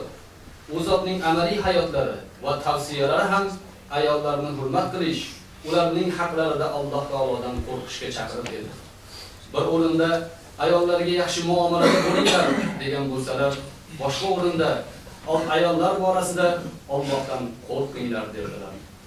Ha, ojizlarni hurmat qilish uchun ulug' qalb egasi bo'lish lozim. Ularni kamsitish esa pastkashlarning tabiatidir. Rasululloh sallallohu alayhi vasallam uy ishlarida ahllariga ko'maklashardilar. Kiyimlarini o'zlari yuvar, oyoq kiyimlarini o'zlari tikib olar, qo'y sog'ar va shu kabi ishlarni or sanamasdilar. Bir kuni Hazrat Ali va fotima Zahro radhiyallohu anhumolarning ko'zlari uyquga ketib, Hasan yig'lay boshladilar. Payg'ambar sallallohu alayhi vasallamning o'zlari hovlida turgan qo'yni sog'ib, Imom Hasanga ichirdilar. Rasululloh sallallohu alayhi vasallam ikki mahbub nabiralari Imom Hasan va Imom Husayn radhiyallohu anhumoni yo'rgaktalik chog'larida ham ko'tarib yurardilar. Sevikli nabiralarini ko'tarish, quchoqlash yoki o'pish bilan kifoyalanib qolmay, balki ularning barcha holatlaridan xabardor bo'lib, tarbiyalari a'lo darajada bo'lishiga alohida e'tibor berardilar. Bir kuni Rasululloh sallallohu alayhi vasallam ko'chadan o'tib ketayotib, Imom Husaynning yig'isini eshitib qoldilar. Shoshib ichkariga kirib, Fatima onamizga buning yig'isi menga ozor berishini bilmaysanmi dedilar. Bir kuni Nabiy sallallohu alayhi vasallam xutba qilayotgan edilar. Birdan Hasan va Husayn yugurib qoqilib kela boshlashdi. U zot minbardan tushib, ikkovlari oldilar. Oldilariga qo'ydilar va Alloh taolo albatta mollaringiz va bolalaringiz fitnadir deya naqadar to'g'ri aytgan. Bu ikki go'dakka qarasam, qoqilib, yiqilib kelishmoqda. Sabr qila olmadim. Gapimni bo'lib, ikkovini ko'tarib oldim dedilar. Rasululloh sallallohu alayhi vasallam oilalarining halol taom yeyishiga ham e'tibor qilardi. Bir kuni Hasan ibn Ali radhiyallohu anhu sadaqa hurmasidan bir dona olib og'izlariga solganlarida qih, qih deb bizga sadaqa halol emasligini bilmasmiding dedilar.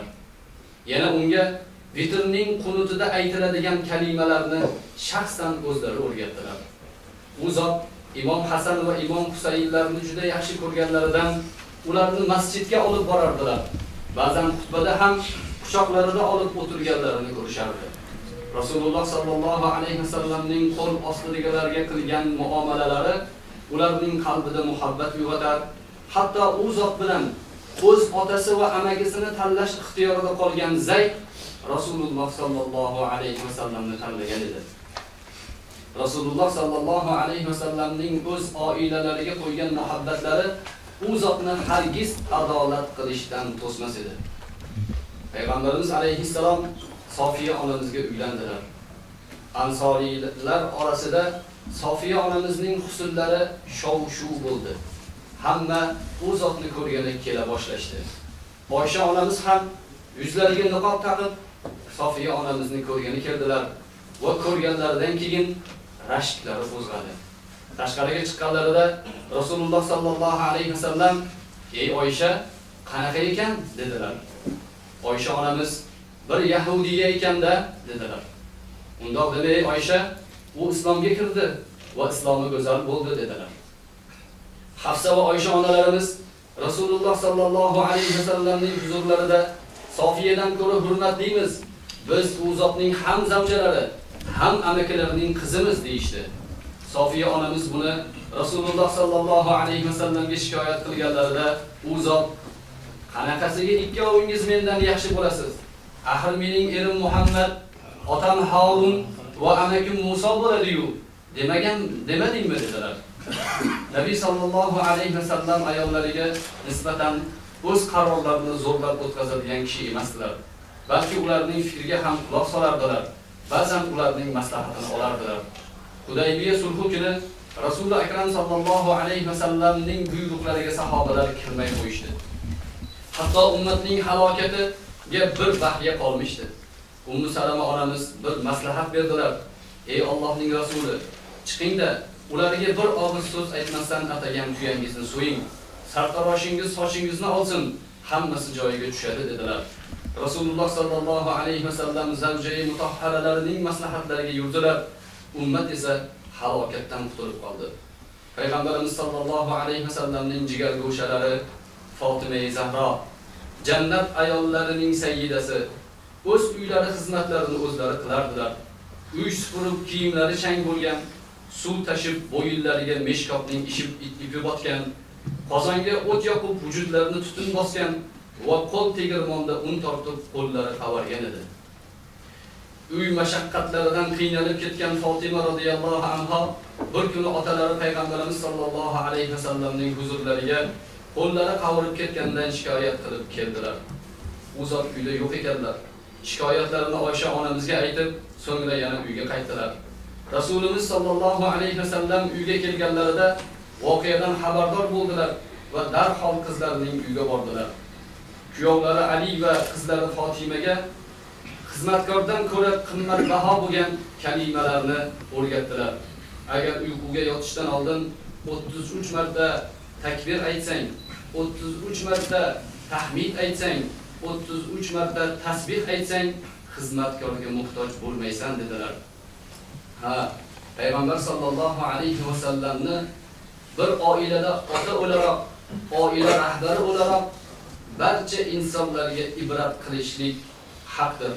Alloh subhanahu va taolo o'zining kalomida laqad kana lakum fi rasulillahi uswatun hasana liman kana yarju Alloha wal yawmal akhir va zakara Alloha degan. Ya'ni bataqdir sizlar uchun bu rasulda oxiratni iymon keltirgan Allohni ko'p zikr qilganlar uchun buyuk nabiy namuna bordir degan. Alloh taolo u zotga bitmas tuganmas salovatlar yog'dirsin.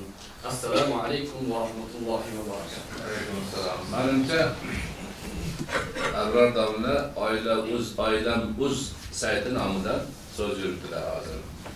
Lekin boshlovchining so'zida ham, domlaning so'zida ham bu ma'no e, aks etmaganligi uchun umumiy ma'ruzaga o'xshab qoldi. Lekin aslida maqsad shu. Islom uz portalining ichida oilam uz degan sayt bor. O'sha saytda Rasululloh sallallohu alayhi va sallamni ana oilaga bo'lgan munosabatlariga alohida urg'u berilib, kishilarni shunga chaqirilishi ma'nosi bor. Avvaldomlarning aytgan gaplari ham ana shu ma'noda bo'lganligi shunda. Abdulmanan domla ham gapirdilar, u kishi Fiqh uz sayti nomidan gapirdilar. Lekin boshlovchining gapida ham, domlaning o'zlarining gapida ham bu saytning nomi zikr qilinmadi. E, demak, o'sha e, Islomuz portalida Fiqh uz degan alohida sayt bor. Fiqhga alohida e'tibor beriladi. Abdulmanan domla asosiy jonkuyar hisoblanadilar bu ma'noda. Juda ko'p ilmiy ishlarni qilib chiqarishyapti. Asta-sekin inshaalloh uni yana ham rivojlantirib, ko'proq xalqimizni talabiga javob beradigan saytga aylanishi hozir jarayoni ketyapti. Nihoyatda yaxshi ish olib borilyapti. domlani gaplari ana o'sha saytni nomidan bo'lgan Rasululloh akram alayhissalotu vassalomni ta'limotlaridan fiqni musulmon ummati qanday qilib chiqarib olgan, bugun qanday foydalanadi, yangi masalalar chiqib qolsa nima qiladi degan masalalarga aynan shu demak sayt e'tibor beradi inshaalloh. Rasululloh sallallohu alayhi va sallamning siyratlarini o'rganishda islom olamining ajralmas qismi bo'lgan bizning diyorimiz Markaziy Osiyoda ham juda katta ishlar amalga oshirilgan. Noyob kitoblar bitilgan. Hozir bizga vatanimizda ta'rif etilgan siyrat kitoblari haqida Hilol elektron jurnali bosh muharriri Ahmad Hoji aka e-tarix o'z nomidan gapirib beradi. Assalomu alaykum, hurmatli anjuman qatnashchilari. Rasululloh sollallohu alayhi vasallam vafotlaridan keyin shu u zotning hayotlarini va risolatlarini o'rganish e, butun dunyoda e, rivojlanib ketdi. Bu borada bizni yurtlarimizda ham katta ishlar qilingan. Hozir shu haqida biroz ma'lumotlar berib o'tmoqchimiz. Payg'ambar alayhissalom vafotlarini va payg'ambarlik faoliyatlarini e, aks ettirgan siyrat kitoblari birin ketin e, yozila boshladi. Bularni eng mashhurlari o'sha ibn ishomning siyrati siyrat nabaviy asarlaridir. E, shundan keyin dunyoning juda ko'p joylarida mashhur olimlar bu siyrat kitoblarini yozishga kirishishdi. Masalan bulardan ibn kasrni siyrat nabaviya muborak rahihul asarlari mana shu siyrat kitoblarining eng yaxshilaridandir.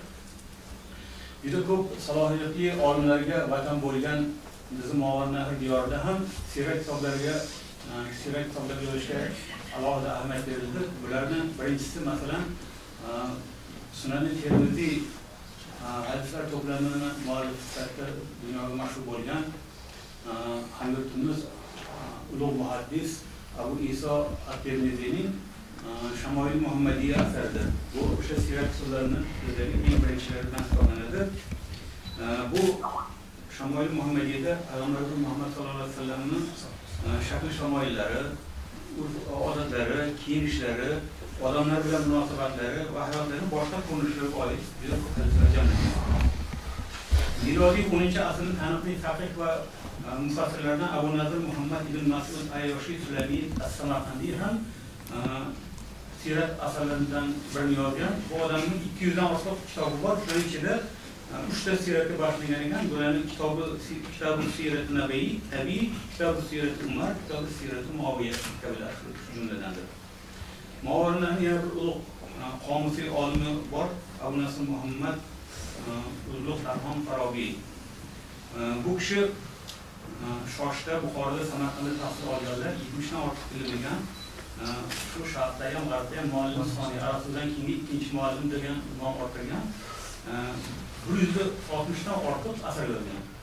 E, bu kishini shu siyratga oid siyratil fazoil degan asarni bir katta bobi payg'ambarimiz muhammad mustafa sallallohu alayhi vasallam siyratlariga qarshilanadi e, hijriy bir ming qirqinchi yil vafot etgan taniqli olimlardan abul abbos jafar ibn ali muhammad nasifiy samarqandiyni kitob dalay an-nubuva payg'ambarlik dalillari kitobi kitob kitob Annabiy, payg'ambar xutbalari kitobi ham siyratga boshlangan asarlar jumlasiga kiradi. Tasavvufning atoqli shayxlaridan bahodir naqshbandiyning to'rtinchi xalifasi hisoblanmish yaqub ibn usmon ibn muhammad g'aznaviy shafiyning o'nga yaqin asari va qur'oni karimga yozgan tafsiri bor. Bular orasida siyratga oid risola dar siyrat mustaqoiya va tariqai mustaqim deb kitob ham bor.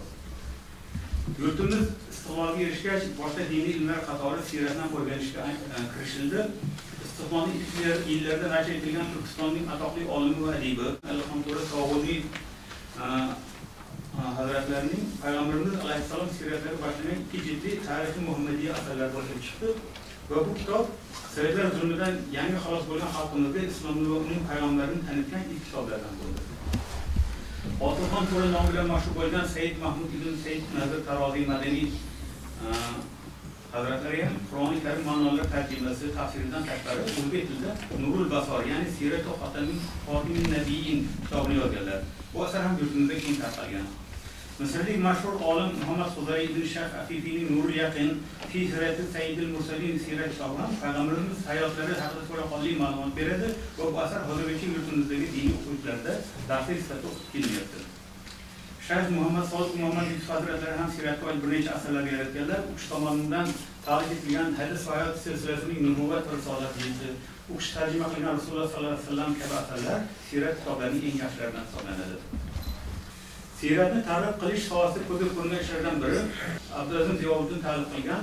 Siz payg'ambarni ko'rganmisiz? Sirat kitobi ham nashr etilib, o'quvchilarga manzur bo'lgan edi.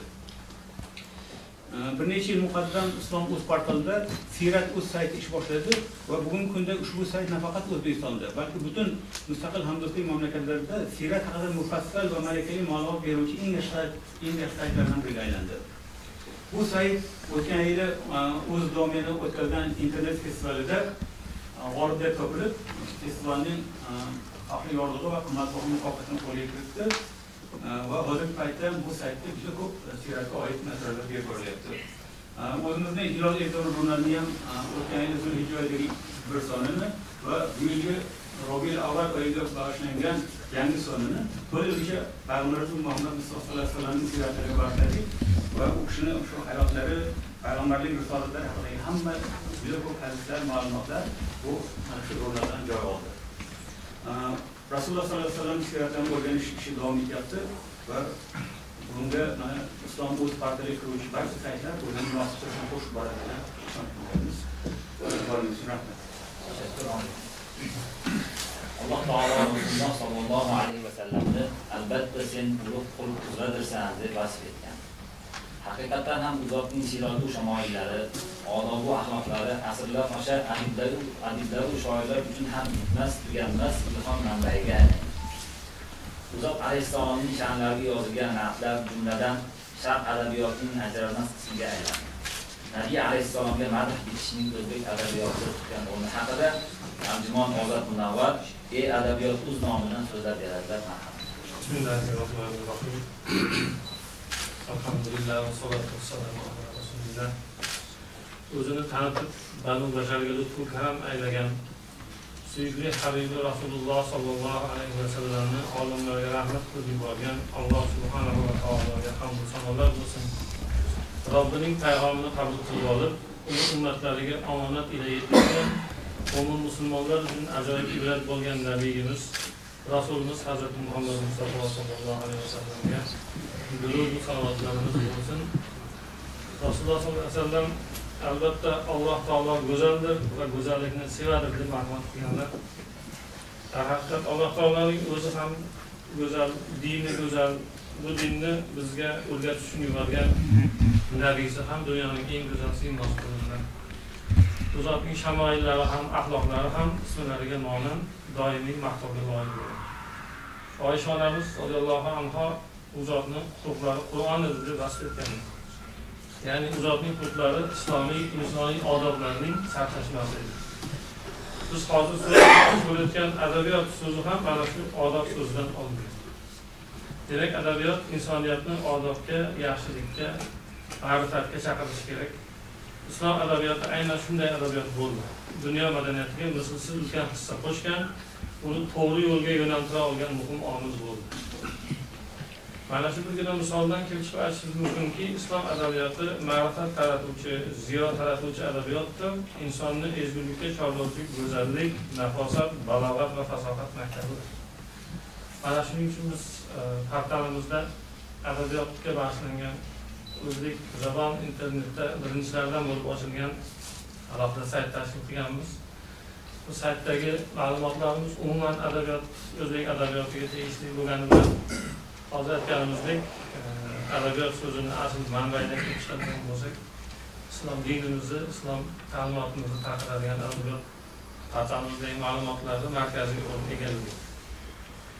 Faxr bilan aytamizki, bizning ulug' ajdodlarimiz bu maktabning go'zallik nafosat maktabining eng mo'tabar namoyandalari bo'lishgan abdurahmon jomiy alfir navoiy huzuriy bobur mirzo ahmad yassariy so'fi olloyor mahtumquli haziniy mashra huvaydar va boshqa juda ko'p shoirlarimiz ulug' so'z san'at darg'alarimiz.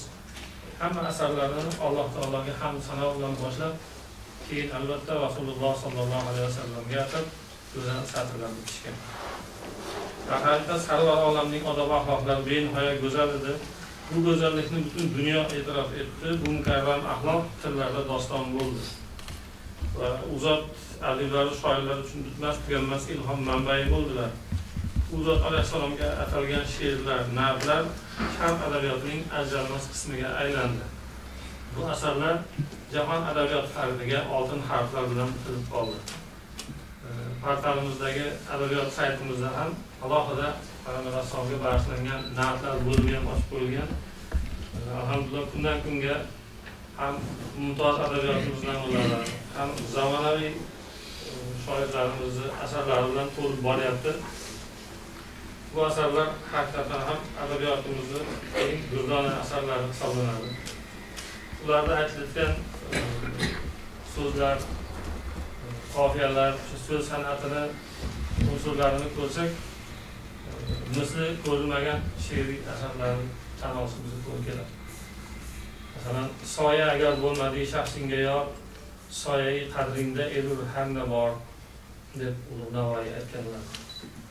Olamu odam fidoy bo'lsinki, bor sen ey Habib, sen g'araz insondin ar olamdin insondir g'araz. Ya'ni dunyoni yaratilishdan maqsad inson yaratish bo'lsa inson yaratilishdan payg'ambar yaratish degan ma'noni aytadilar yoki huzurli hazrat nola dersam qadrila afzun masihodin sizi yer ko'k mezon bo'lib farq bo'lmish og'irdan yengil deb aytdilar ya'niki o'xshatish shunday ajoyibki iso alayhissalom osmonga ko'tarilib payg'ambar alayhissalom yerda qoldilar deb hayron bo'lsam balki yeru ko'k tarozi bo'lib uni pallasiga payg'ambar alayhissalom qo'yilganda pastga bosib iso alayhissalom ko'tarib ketdilar degan shoirga o'xshatish degan endi haqiqiy she'r shoirni butun fikr xayolini aqli zakovatini qalbini egallagan mavzuda bitiladi binobarin payg'ambar alayhissalomning sha'nlariga atab yozilgan asarlarni o'qib ularning mualliflari haqida shunday deyish mumkin. U zotga atab she'ru g'azal yozgan nat yozgan zotlarni butun vujudi allohga bo'lgan iymon nuri bilan yo'g'rilgan payg'ambar alayhissalomga bo'lgan buyuk ehtirom va muhabbat tuyg'usi bilan to'la bo'lgan. Buni o'sha she'rlarni har bir satridan chiqib turish mumkin. Ayni paytda bu mavzudagi asarni o'qigan inson mualliflarni qanchalik chuqur ilmli teran fikrli olim ekanligini ko'rib hayratga tushadi. Islom tarixi islom ta'limoti aqoid siyrat fiqh va shu kabi ilmdan bexabar odam bu asarlarni o'qib tushunmasdan qoladi. Alhamdulillah islom adabiyoti bugungi kunda ham rivojlanishdan to'xtagani yo'q. Chunki uning manbai barhayot abadiydir xalqimizning islom adabiyotiga bo'lgan qiziqishi ham hech qachon so'nmaydi. Chunki mo'min inson borki qalbida allohga nabiy alayhissalomga bo'lgan otashi muhabbat bor. Yana bir necha yildan beri shu saytimiz portalimizning eng yosh saytlaridan biri bo'lib lekin kundan kunga muxlislari ko'payib ma'lumotlari ham kengayib boryapti. Saytimizga tashrif buyurgan foydalanuvchilar soni juda ko'p. Bir necha bor o'zbek zamon internet faoliyatida ko'rsatayotgan saytlar ichida o'z yo'nalishi bo'yicha g'olib bo'ldik. Bu ham san'atsevar xalqimizning payg'ambari bo'lgan payg'ambarimizga bo'lgan ixlosi muhabbatidan dalolat berib turibdi madhi tillarda doston bo'lgan hazrati rasululloh muhammad mustafa sollallohu alayhi vasallamga salom salomlarimiz bo'lsin. U zotga bo'lgan muhabbatimiz tufayli qilayotgan kamtarona xizmatimiz muborak mavlidlariga to'yona bo'lsin. So'zimizni yakunida kechagina e, zamonaviy adabiyotimiz vakillaridan husanjon qoragan meni e, ko'zim oldida yozgan baytlari bu ojiz til bilan rasming bitirmoqlikka yo'q imkon seni madh ah, aylamish rahmonu xulqing mo'jiza qur'on. Allohumma solli va sallim va barik rahmat salomat bo'ling. Hozir siz rasuli akram alayhissalotu vassalomning naqdlari madahlari to'g'risidagi e, she'riyat nazm asarlar to'g'risida demak adabiyot uz e, e, sayti doirasida o'zimizni yurtimiz doirasida qisqacha so'zladingiz. Nihoyatda yaxshi rahmat. Lekin e, shuni aytib o'tish kerakki o'sha so'zingizni ichida payg'ambarimizga atalgan asarlar sharq adabiyotini ajralmas qismi bo'lib qoldi degan. Lekin yaxshiroq chuqurroq o'rganadigan bo'lsak madhi madih nabiy deyiladi arabchada. Nabiy alayhissalomni madhi to'g'risidagi asarlar sharq adabiyotini gultojidir rasuli akram alayhissalotu vassalomni madahlari naqdlarida aytilganchalik yuqori saviyadagi she'r yo'q. Va hajm jihatidan son jihatidan ham nihoyatda ko'p. Shoirlik borki mana shunga uringan. O'zining ijodini eng yuqori cho'qqisi bo'lishini orzusini qilgan faqat buni biz televizor o'rganganimiz yo'q xolos. Shuning uchun adabiyot o'z ye adabiyot o'z e, sayti hozirgi shoirlarimiz she'riyat bilan qiziqayotgan kishilarimiz bir harakat qilishinglar kerak. Shu tarixni chuqurroq o'rganish o'shanday rasul akram alayhissalotu vassalomning na'atlari madihlari borasidagi she'rlarni mo'min musulmonlarga e, bugungi kunda tushunadigan tarzda taqdim qilish ma'nosida. Salomat bo'ling rasululloh sollallohu alayhi vasallam nafaqat musulmonlar balki insofli toza vijdonli g'ayridinlar ham ahli ham katta hurmat bilan tilga olib e'tiroz etishgan. Zotning buyukliklari oldida tiz cho'kadilar. Bu xususda bizga hilolkom saytini xodimi xayrulloh habibulloh gapirib beradi. Bismillahi rohmanir rohim alhamdulillah vassalotu vassalamu ala rasululloh اللهم اشرح لي صدري ويسر لي امري واحلل عقدة من لساني يفقه قولي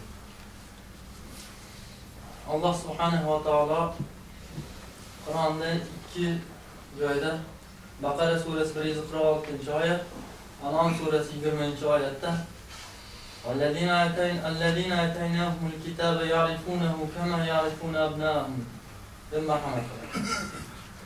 Biz kitob bergan kishilar, ya'ni Yahudi va Masihiylar uni Muhammad alayhissalomni xuddi bolalarini, ya'ni farzandlarini tanigandek taniydilar deb marhamat qilgan.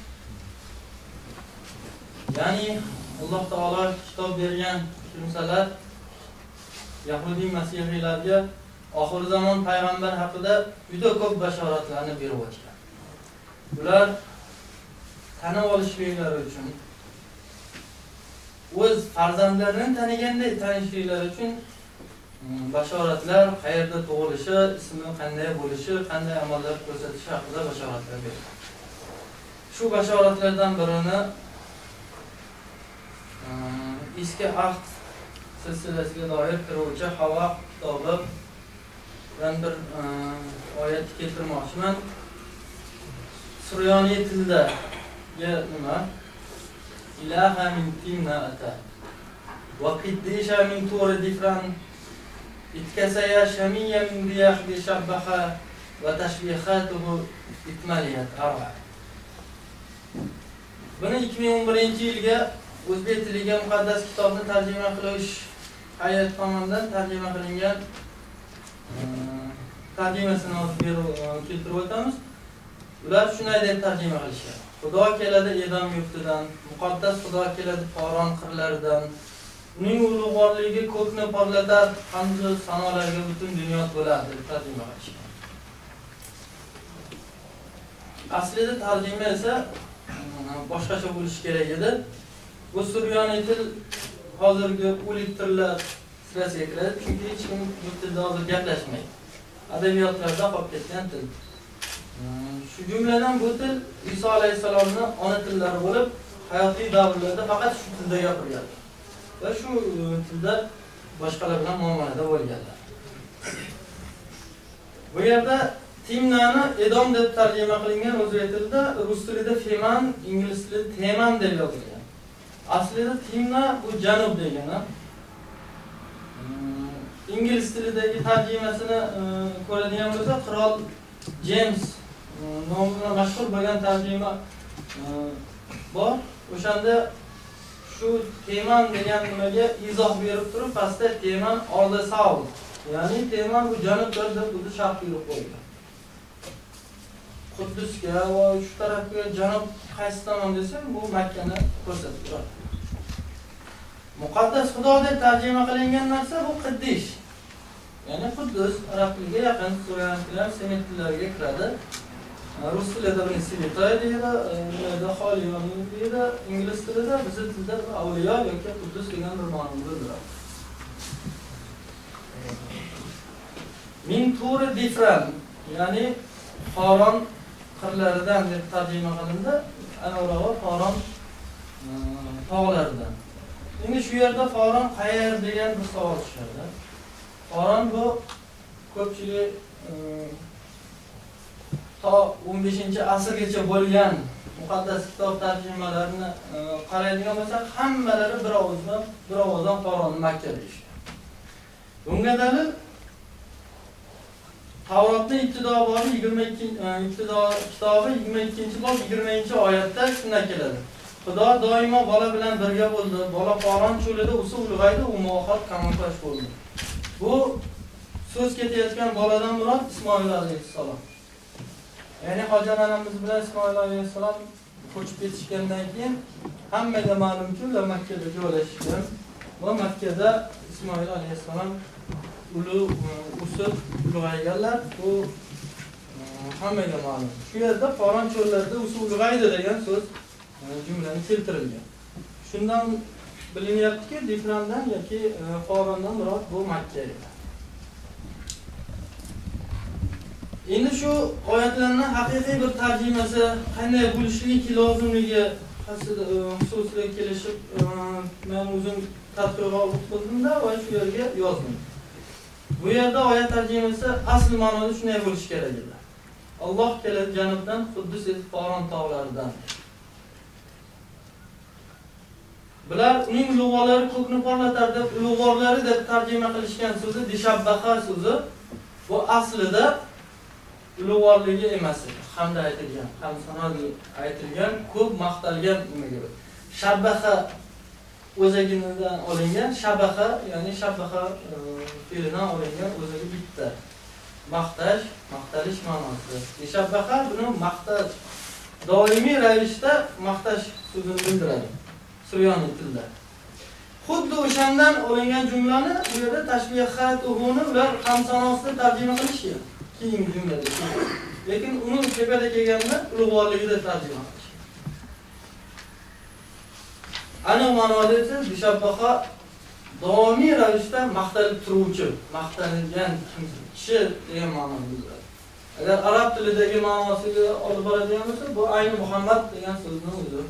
Sallallohu alayhi vasallam shu nuqtai nazardan tarjima shunday bo'lishi kerak ediki olloh keladi janubdan quddus esa Qoron tog'idan makka tog'idan muhammadning ziyosidan osmonlar burkanar uning maqtoviga dunyo to'lar degan tarjima kelib chiqishi kerak aslida ham shunday Qoron makkaligini bildik bu yerdagi yana bashoratlardan biri kutilgan hammadan xalosga e, najotga yetuvchi payg'ambar makkadan bo'lishligi haqida gapirgan forondan faronni tug'ilishi kerak bu birinchi nega endi faronni o'zida ham faron tog'laridan makka tog'laridan deyilyapti deganda hammamizga ma'lumki payg'ambarimiz sollallohu alayhi vasallam payg'ambarlikni o'sha makka tog'larida qabul qilib olganlar birinchi oyatlar ham o'sha savr g'orida tushgan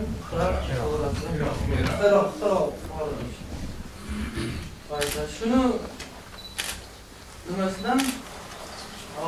Makkada tug'ilishliklari va e, payg'ambar etib saylanishi tog'da bo'lishi ismlari muhammad bo'lishi kabi e, nimalar kelib chiqadi?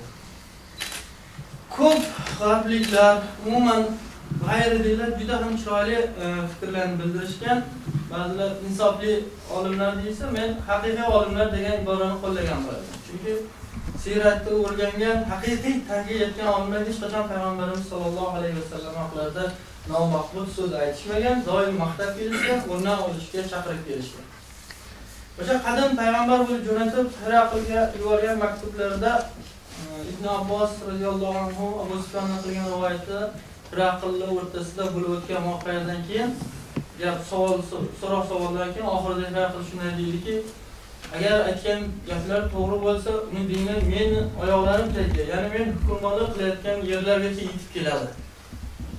Deb yana bir qancha so'zdan keyin agar huzurida bo'lganimda oyoqlarimni yuvardim deb aytdi. Mashhur fransuz shoiri alfons de lamartin sharqqa safar kitobida shunday deydi muhammadni aldovchi va firibgar deb o'ylaysizlarmi?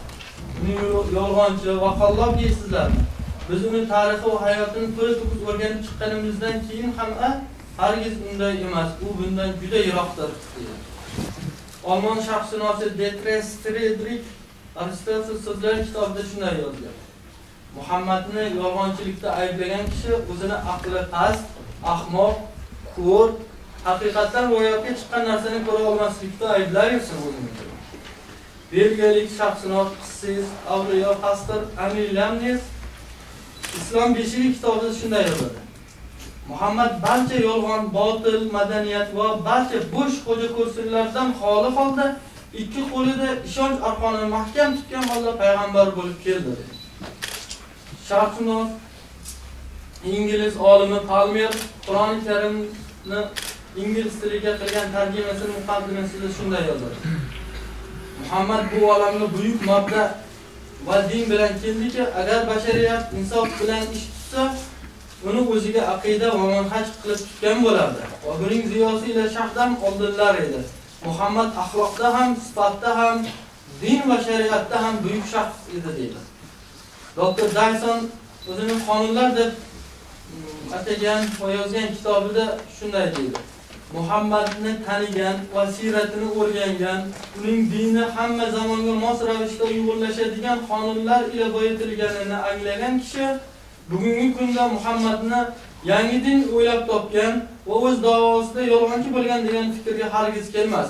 Muhammad va uning dini haqida nomaqbul so'z yozgan har bir kishi tadabburi oz va ongi zaif kishidir deydi.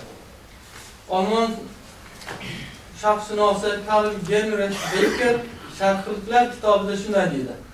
Batahqiq arab payg'ambarini dajjal yoki sehrgar degan kishi xato qilibdi.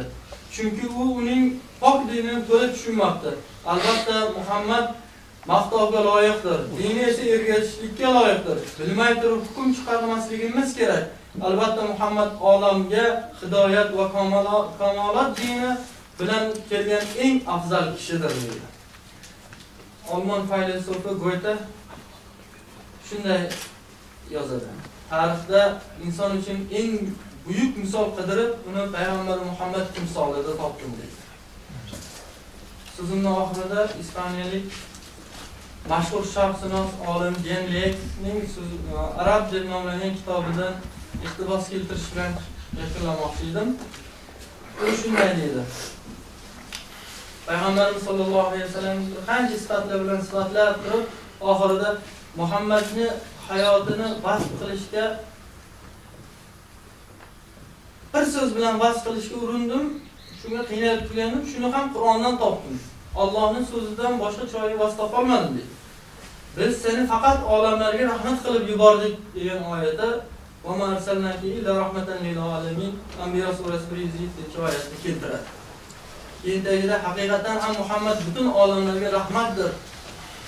Men nasroniy bo'lishimga qaramay unga ehtirom, to'liq zavq va shavq bilan doimo salovat aytaman deydi. Allohumma solli va sallim ala Islom ummati Rasululloh sollallohu alayhi vasallamning siyratlarini o'rganishda bor imkoniyatlarini ishga solgan. Siyratni o'rganish va o'rgatishning zamonaviy uslublari hamda portalimizning siyrat faniga bag'ishlangan Siyrat.uz sayti haqida suhbat qilib berish uchun sayt xodimi muhtaram Abdulazim Ziyoliddin domlaga so'z beramiz. Marhamat. Bismillahir Rahmanir Rahim. Alhamdulillahi vahda vassalatu vassalamu ala man la nabiyya ba'da. Siyratni o'rganish va o'rgatishning zamonaviy uslublari va Siyrat.uz saytining bu boradagi xizmati haqida gapiradigan bo'lsak, Siyrat fani suyukli payg'ambarimiz Muhammad Mustafa sallallohu alayhi va sallamning muborak hayotlari tarixi, hayot yo'llari va tarjimai hollarini o'rgatadi. U zotning hayotiy davrlaridagi voqea hodisalarni tartib bilan jonli suratda tasvirlab, ko'z oldimizda namoyon qiladi. Shayx Ali Tantoviyning kitobida keltirilishicha, ba'zi salaflar shunday degan ekanlar: Biz bolalarimizga Qur'on suralarini qanday o'rgatsak, payg'ambarimizning siyratlarini ham shunday o'rgatar edik. Hijriy 2-asr boshlaridan alohida siyrat kitoblarini yozish yo'lga qo'yilib, asrlar davomida yuzlab mo'tabar kitoblar ta'lif etilgan.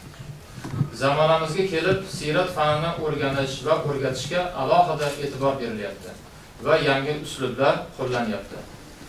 Shayx Muhammad Xuzariyning Nurul Yaqin kitobi misolida muxtasar, ixcham kitob, ixcham kitoblar yozila boshladi. Doktor Muhammad Said ibn Ramazon Buqiy hazratlarining Fiqh Sira kitobi misolida sirat fiqhi yo'nalishiga asos solindi. Doktor Abu Khalil Shavqiyning Atlasus Sira kitobi misolida sirat atlasi, xarita va suratlarni chizish yo'lga qo'yildi. Sirat ma'lumotlari test, savol-javoblar uslubida o'rgatilyapti. Sirat ma'lumotlarini tahqiq, tadqiq qilish ishlari ham keng yo'lga qo'yilgan.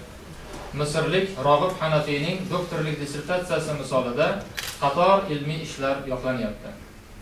Dunyo miqyosida sirat kitoblari ilmiy musobaqalari ham tashkil etilmoqda. Sirat sodnomalari tuzilyapti. Bolalar uchun sirat kitobchalari yozilyapti. Hujjatli filmlar, badiiy filmlar va multfilmlar ishlanyapti. Fursatdan foydalanib, islom uz portali ijodiy guruhi bilan xalqimiz sevib tomosha qil tomosha qiladigan risolat filmini qayta tarjima qilib subtitr variantini tayyorlab qo'ygan qo'yganimizni aytib o'tmoqchiman.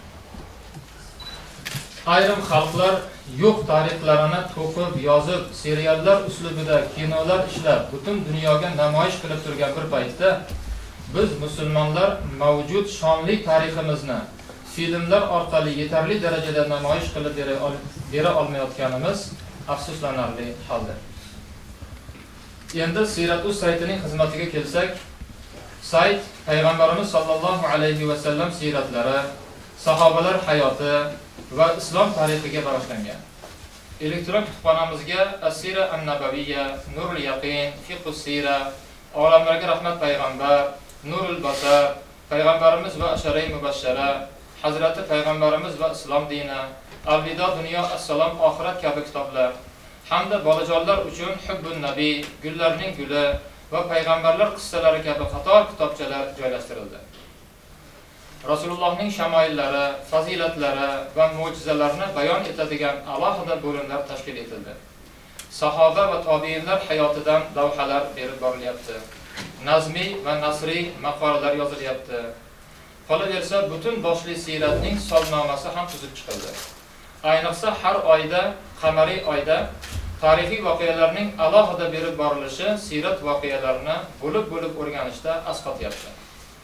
Tadqiqot bo'limida bahs munozarali ma'lumotlar muhaqqiq ulamolarimizning kitoblari asosida tahlil etilyapti. Siyrat ulamolari bo'limida siyrat haqida kitob ta'lif etgan olimlarimizning tarjimai hollari berildi. E'tirof bo'limida esa o'zga din vakillarining xolisona fikrlari va e'tiroflari qo'yib borilyapti. Atlas bo'limida esa siyrat xaritalari tarjima qilinib qo'yib borilyapti. Media bo'limida video audio sahifalar ochilgan bo'lib ularda bir necha filmlar multfilm ma'ruza salovat va nashidlar joylashtirilgan.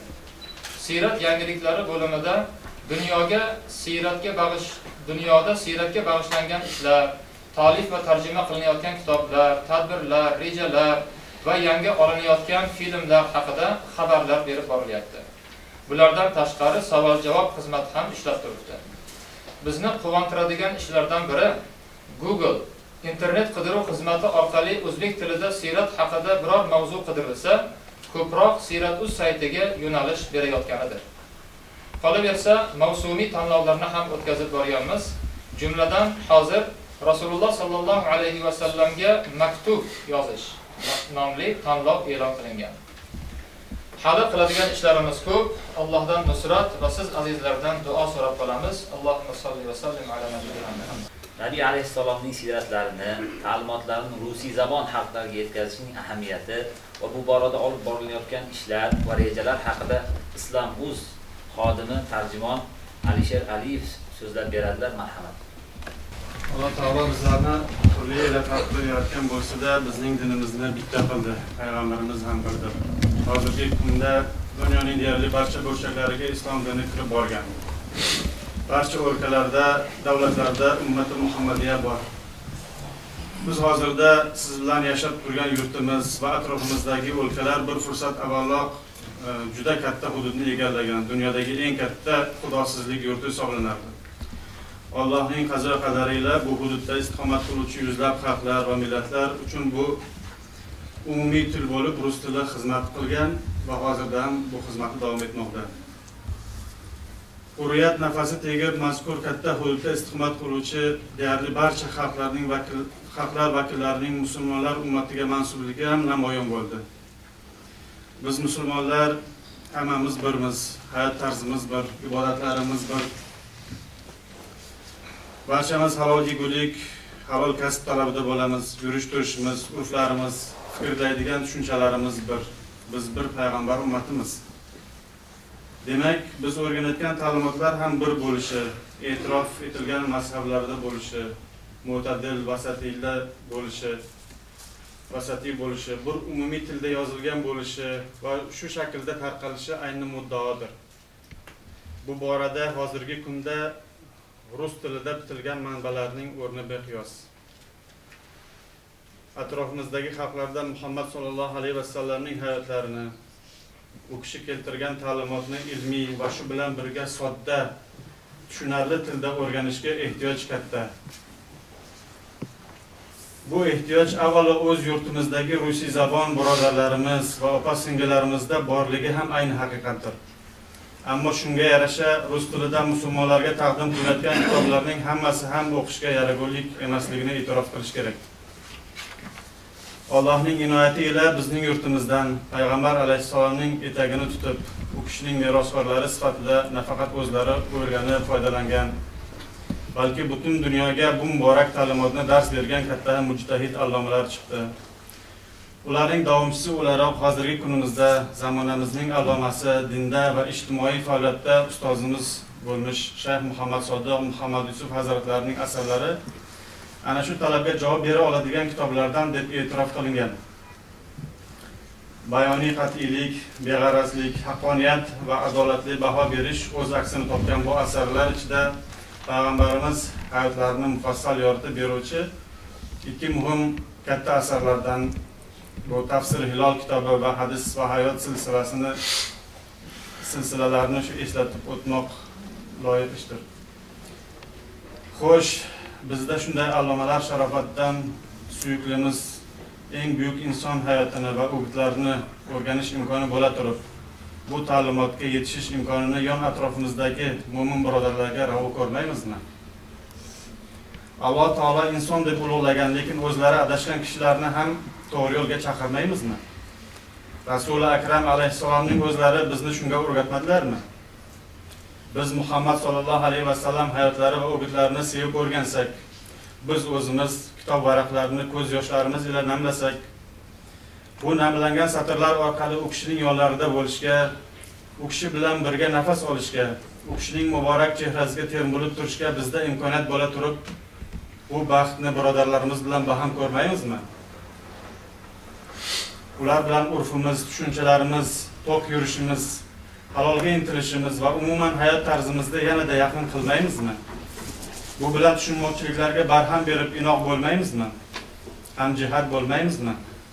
Bu muhammad muhammad sallallohu alayhi vasallamning ta'limotlari u kishining turmush tarzlari bilan o'zimiz oshno bo'lib turganimizda u kishiga hali ummat bo'lmagan qanchadan qancha bu baxtdan mahrum bo'lgan bo'lib yurganlarni o'zimizga sherik bo'lishga da'vat qilmaymizmi?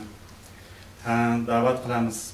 Birodarlar bilan baham ko'ramiz. Ummatlikdan mahrumlarni ma'naviy lazzat va halovat dasturxonimizga chaqiramiz. Chunki biz sevgan kishimiz bizni shunga buyurgan. Biz esa u kishining ergashuvchisi shogirdimiz. Shuning uchun ham hozirda birodarlar bilan baham ko'rishdan keladigan savob umidida bir qancha ishlar amalga oshirilmoqda. Rus tilida faoliyat ko'rsatayotgan islom uz saytida rusizabon birodarlar uchun imkoniyatlarni yanada kengaytirish mo'ljallangan. Sevimli payg'ambarimiz sallallohu alayhi vasallamning hayotlari va o'gitlariga doir maqolalar maqolalar qo'yib borilmoqda shu jumladan mavlidga bag'ishlab ham mavlidga doir o'sha ixtiloflar xususidagi hazratning maqollari ham qo'yib borildi. Bu mavzuga bag'ishlangan alohida juda katta rukun ochilgan. Bu rukun e, ko'pgina bo'limlardan tashkil topgan. Xalqimiz sevib o'qiydigan kitoblarning xususan muhtaram shayx muhammad sodiq muhammad yusuf hazratlarining kitoblarini rus tiliga tarjima qilinishi to'xtovsiz davom etmoqda hozirgi kunlarda. Allohning buyruqlari va muhammad sallallohu alayhi vasallamning ta'limotini keng ommaga yetkazishga qaratilgan ish o'laroq bugun ko'pchilikka manzur bo'lib qolgan va rusiy zabonlar ham istayotgan tafsiri hilol kitobi birinchi juzdan boshlab tarjima qilinmoqda. Tarjima hozirgi kunda yarmiga yaqinlab qoldi va tahrir ham yo'l yo'lakay davom etilmoqda. Ma'lum qismi hozir oxirgi bosqichda turibdi. O'ttizinchi juz esa sal avvalroq e, rusiy zabon o'quvchilarga alohida chop qilib taqdim etilgandi. Hadis va hayot silsilasining anchagina qismi tarjima qilib bo'lingan bir qismi o'quvchilarga taqdim ham etildi. Mashhur bo'lib ketgan baxtiyor oila mukammal saodat yo'li kabi dolzarb kitoblar ham e, qisman e, tarjima qilinib ulardan hozirgi kunda chop ko'rmagan bo'lsa ham ma'lum qismi tahrirlanib o'sha e, islom uz ruscha saytiga rus tilida qo'yib borilmoqda. To'la yoki qisman tarjima bo'lgan shu kitoblar ichida yana oltin silsila o'sha to'plami ham золотая сокровищница Hadisov deya nom bilan va ma'lum bir qismlari tarjima qilinib, tahrirlanib saytga qo'yib borilmoqda, xususan shu muqaddimasidan va e, ba'zi bir o'sha hadislardan ularni sharhi bilan birga qo'yilib borilmoqda. Hozirgi kunda juda ham istalgan dolzarb bo'lgan sun'iy aqidalar kitobi sunnitskiy Verovyujдение nomi bilan e, shopga yaqin turibdi. Xudo xolasa yaqin kunlarda duolar o'tirsa inshaalloh chiqishi oson bo'ladi inshaalloh. Shu o'rinda aytib o'tish kerakki, mm, ushbu kitoblar, ushbu rus tilidagi shu kitoblar, tarjimalar o'qishi tufayli o'z yurtimizda va xususan Rossiyada ba'zi odamlar islomni qabul qildilar. Va bunga qiziqishlari yana ortmoqda. Bu esa Rasululloh sollallohu alayhi vasallam o'rgatganlaridek dunyodagi jami narsalardan yaxshiroqdir.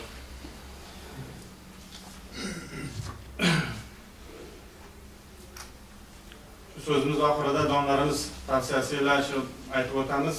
O'sha tavsiyalar biz bugun e, janobimiz sollallohu alayhi vasallamning siyratlarini rusiy zabon musulmonlariga yetkazish zaruratining ijtimoiy va siyosiy sabablarida batafsil to'xtamadik. Shuning uchun bizning ummatda ustozga yuksak ehtirom ko'rsatiladi, qadrlanadi. Biz bugun sharofatdan insonlarning eng yetugi bo'lmish buyuk ustozimiz Muhammad alayhissalomga bo'lgan ehtiromdan hozirgi kun dunyosidagi islomga qarshi fitnalar haqida to'xtab o'tmaymiz. Ataylab uyushtiradigan masxaralar, qilingan haqoratlarni eslamaymiz. Bugun biz bir-birimizni qutlaymiz, xursandchilik qilamiz. Biz bizga Habibini yuborib, bu orqali bizni zalolatdan qutqargan Alloh taologa hamd sanolar aytamiz. Bugun biz olamlarga rahmat payg'ambarni xotirlaymiz. Insoniylikning eng yuksak cho'qqisida turib bu cho'qqiga barchani chaqirgan sevimli insonga salovatlar aytamiz. Allohumma solli va sallim va barik. Nabiy alayhissalomning siyratlariga doir asosiy manbalar arab tilida yozilgani barchamizga ma'lum. Ulardan umumiy foydalanish uchun arab tilini o'rganishning zarurligi haqida hech kim shubha qilmasa kerak. Bugungi kunda arab tilini o'rganishning ahamiyati, ayniqsa uning siyratni o'rganishda tutgan o'rni haqida Arabic uz saytining xodimi mudarris Anvar Ahmad gapirib beradilar. Bismillahirrohmanirrohim. Alhamdulillah vassalotu vassalamu ala rasulillah. Arab tili dunyodagi eng nozik va eng mukammal til bo'lgani uchun ham Alloh taolo o'zining oxirgi kalomi bo'lmish Qur'oni Karimga aynan shu tilni ixtiyor qilgan. Payg'ambarimiz sollallohu alayhi va sallam arablarning eng tili fasih qabilasi Qurayshdan bo'lganlar. O'zlari chiroyli, fasohatli so'zlar ustasi bo'lganlar. Buning ustiga mo'jizakor Qur'on balog'ati va fasohati u zotga o'z ta'sirini o'tkazgan. Shuning uchun ham u zotning kalomlari Allohning kalomidan keyingi ikkinchi o'ringa ko'tarilgan. Ana shundoq oliy maqom kalomni yaxshi tushunish, nozik ma'nolarni to'la anglab yetish, ulardagi shar'iy hukm, vaz, irshod va ibratlarni mukammal o'zlashtirib olish uchun arab tili uning balog'at va fasohatidan yaxshi xabardor odam bo'lishi kerak. Bu ma'noda ma'lum darajaga erishmay turib, mufassir, muhaddis va faqihlikni da'vo qilmaslik kerak. Alloh taolo o'zining oxirgi va boqiy kitobi qiyomat kunigacha insoniyatga ikki dunyo saodatini ko'rsatib boruvchi Qur'oni Karimni ulkan vazifani har doim ado etish sifati bilan tushirishi lozim edi. Ana shunday boqiy dinga dunyodagi minglab tillarda, minglab kitob tushirish maqsadga muvofiq bo'lmasligi aniq. Shuning uchun oxirgi kitob bo'lishi, har zamon va makonga mos bo'lishi, qiyomatgacha o'z vazifasini ado etib, mo'jiza shaklida qolishi va qiyomatgacha insoniyatni ikki dunyo saodatiga boshlash qobiliyatiga ega bo'lish ma'nosidagi kitob mas'uliyatini ko'tarish yuzasidan Alloh taolo arab tilini tanlagan. Arab tili shunday xususiyatlarga egaki, unda bir so'z bilan juda ko'p ma'nolarni ifoda qilish va shu so'zlardan tuzilgan jumlalarda insonlarni ojiz qoldiruvchi omil bo'lish mumkinligi ma'nolari yotadi. Qur'oni Karim jumla jihatidan ham, ma'no jihatidan ham insonlarni ojiz qoldiruvchi ilohiy kitobdir. Alloh taolo Qur'onni tushirayotgan paytida arab so'z ustalariga bunga o'xshash 10 ta to'qilgan sura keltiringchi kabi takliflarni aytgan. Va arablarning so'z ustalari, shoir va adiblari to'planib urinib ham Qur'on suralarining eng kichigicha ma'no ifoda qiladigan narsa tuza olmaganlar. yillar o'tgan sari ilmning rivojlanishi oqibatida Qur'on oyatlarining sirlari, mo'jizalari ochilib, haqiqatda arab tilidan boshqa biror til bu dunyoda Qur'onga til bo'la olmasligi ham bo'lmasligiga hamma qoyil qolib kelmoqda. Bu ma'noni hatto islomdan, Qur'ondan va arab tilidan bexabar kishilar ham tan olmoqdalar. Fransiyadagi mashhur fantast yozuvchilardan biri o'z xayolida dunyodagi ideal bir olamni yaratish ma'nosida badiiy asar yozgan. Shunda hamma bir jamiyatda a'zo bo'lib yashashi, umumiy ma'noda bir-birlarining hojatlarini chiqarib yurishi ma'nosini ifoda etgan. Ana shu narsaga alohida joy, til va fan tanlagan. Til borasida esa arab tilini tanlagan. Odamlarning nimaga arab tilini tanladingiz degan savollariga men o'ylagan mana shunday buyuk bir jamiyatga arab tilidan boshqa til loyiq bo'la olmaydi degan javobni bergan ekan. Arab tilining jahon bo'ylab muzaffarona yurishi ayrimlarni risolat qilich bilan tarqalgani uchun arab tili ham shuning soyasida tarqalgan degan iddaolar bilan has qo'shlamoqchi bo'lishadi. Agar masalaga shunday yondashadigan bo'lsak, unda nega dunyoning yarmini qilichlar yordamida o'ziga tobe qilgan Makedoniyalik Iskandar gaplashgan Yunon tili yoki Chingizxon qo'shinlari so'zlashgan mo'g'ul tili dunyoni egallab umumjahon tiliga aylanmadi? Qur'on tili bo'lmish arab tili mo'jizaligi mana shu kabi voqealardan yana ham namoyon bo'laveradi. Ma'lumki, arab tili Qur'on tili, ibodat tili, jannat tili va islom lug'atidir. Iymon keltirish, namoz o'qish, Qur'on tilovat qilish arab tilida bo'ladi. Arab tili musulmon hayotida barcha islom shiorlari bilan bog'lab turadi. U shunday lug'atki, buyukligini Qur'on va islom yordamida oladi. Shar'iy qoida aytadiki, vojib u narsasiz mukammal bo'lmasa, u ham vojibga aylanadi. Qur'oni Karim qiroati vojib bo'lsa, Rasululloh sollallohu alayhi va sallamning hadislarini o'rganish vojib bo'lsa, ibodat va aqoid ilmlarini o'rganish vojib bo'lsa, ushbu ilmlarga arab tilisiz yetish imkoni bo'lmasa, demak arab tilini o'rganish ham vojib darajasiga chiqadi. Imom Buxoriy, Imom Tirmiziy, Mahmud Zamaxshari, Abu Nasr Farobiy, Ibn Sino kabi ko'plab vatandoshlarimiz arab tilida o'zlarining ilmiy ma'rifiy asarlarini yozganlar. Arab tilining qonun qoidalar tizimi, nahv ilmini yaratgan va kamolga yetkazgan olimlar orasida bizning bobon kalonimiz Mahmud Azamaxshari Al-Munmuzaj va Mufassal asarlari hanuz arab tili bo'yicha muhim qo'llanmalar hisoblanadi. Olimlar shu cho'loq bo'lmaganida arablar o'z tilini bilmay o'tardi deyshgan. Olimlar uni ulug'lab Ustazul Arab val Ajam, ya'ni arablar yoki Faxru Xorazm deb atashgan. Arab tili somiy tillar guruhi ichida eng ko'p ishlatiladigan va hozirda eng ko'p tarqalgan tillardan hisoblanadi. Ushbu tilda hozir 420 milliondan oshiq aholi so'zlashadi. Uni ishlatadigan aholi soni esa 1,5 milliard nafarga yaqin. Chunki arab bo'lmagan musulmonlar ham o'z ibodatlari, namozlarini ushbu tilda ado etishadi. Arab davlatlarining hozirgi kunda dunyoning siyosiy, ijtimoiy, iqtisodiy sohalaridagi mavqei ahamiyatli hisoblanadi. Mazkur davlatlar Fors ko'rfazi, Hind okeani, O'rta Yer dengizi, Atlantik okean sohillariga joylashgan. Osiyo qit'asining janubiy g'arbiy, Afrika qit'asining shimoliy mintaqalarida joylashgan va umumiy aholisining soni 190 milliondan ortadigan 20 ta ikkita mustaqil arab davlatlari mavjud. Hozirgi paytda bu til Birlashgan Millatlar Tashkilotida ish yuritiladigan 6 rasmiy tilning biridir. BMTning fan va madaniyat bo'yicha tashkiloti UNESCO ijro kengashi har yilning 18-dekabrini xalqaro arab tili kuni deb belgiladi va tashkilot tomonidan nishonlanadigan kunlar safiga qo'shdi. Ushbu qaror ijro kengashining 190-yig'ilishidan so'ng Saudiya Arabistoni va Marokash qirolliklari talabiga binoan qabul qilindi. Endi arab tilini maqtagan ba'zi bir mashhur shaxslarning gaplarini keltirib o'tamiz. Umar roziyallohu anhu aytganlar: Arab tilini o'rganinglar, chunki u aqlni mustahkam qilib, muruvvatni oshiradi. Hasan Basridan arab tilini chiroyli gapirish va o'qiganini tushunish uchun o'rganayotgan kishi haqida so'raldi. Bu tilni o'rgansin, chunki kishi oyatlarni o'qiganda ma'nosini buzib yuborsa halok bo'ladi dedilar. Abu Rayhon Beruni esa meni arab tilida hajm qilinishi fors tilida maqtalganidan afzaldir degan ekanlar. Biz so'zimizni oxirida Islom uz portali qoshidagi arabic.uz sayti nomidan barchalaringizni ushbu Mavludun Nabiy kuni bilan tabriklab qolamiz. Assalomu alaykum va rahmatullohi va barakatuh. Mana 14 asrdan oshdiki, islom ummati sunnatga muvofiq masjidlarda va xutbalar aytib, islomiy ma'rifatlar tarqatishmoqda. Alhamdulillah, hozirgi kunda O'zbekistonda 2000 dan ortiq jome masjid faoliyat ko'rsatmoqda. Masjidlarimizda siyratni o'rganish borasida qilinayotgan ishlar haqida Xo'ja Alambardor jome masjidining imom xatibi Rahmatulloh Soifuddin qori akadan qori aka so'zlab beradilar, marhamat. Assalomu alaykum va rahmatullohi va barakatuh. Avvalo bu tadbir tashkilotchilariga tashakkur izhor qilaman, chunki bu davrada, tabarruk davrada muhtaram ustozimizni shaxsan o'zlari bosh qosh bo'lib turgan davrada mendan boshqa imom xatiblar ko'rinmayapti. Mana shuning o'zi biz uchun katta sharaf bo'ladi. Darhaqiqat shu yilning 25 yanvar juma kuni masjidimiz Hoji Alambardor jome masjidi bayramona tus oldi. Chunki Mavlid oyiga atab o'tkaziladigan tadbirimiz shu juma kuni o'tkazildi.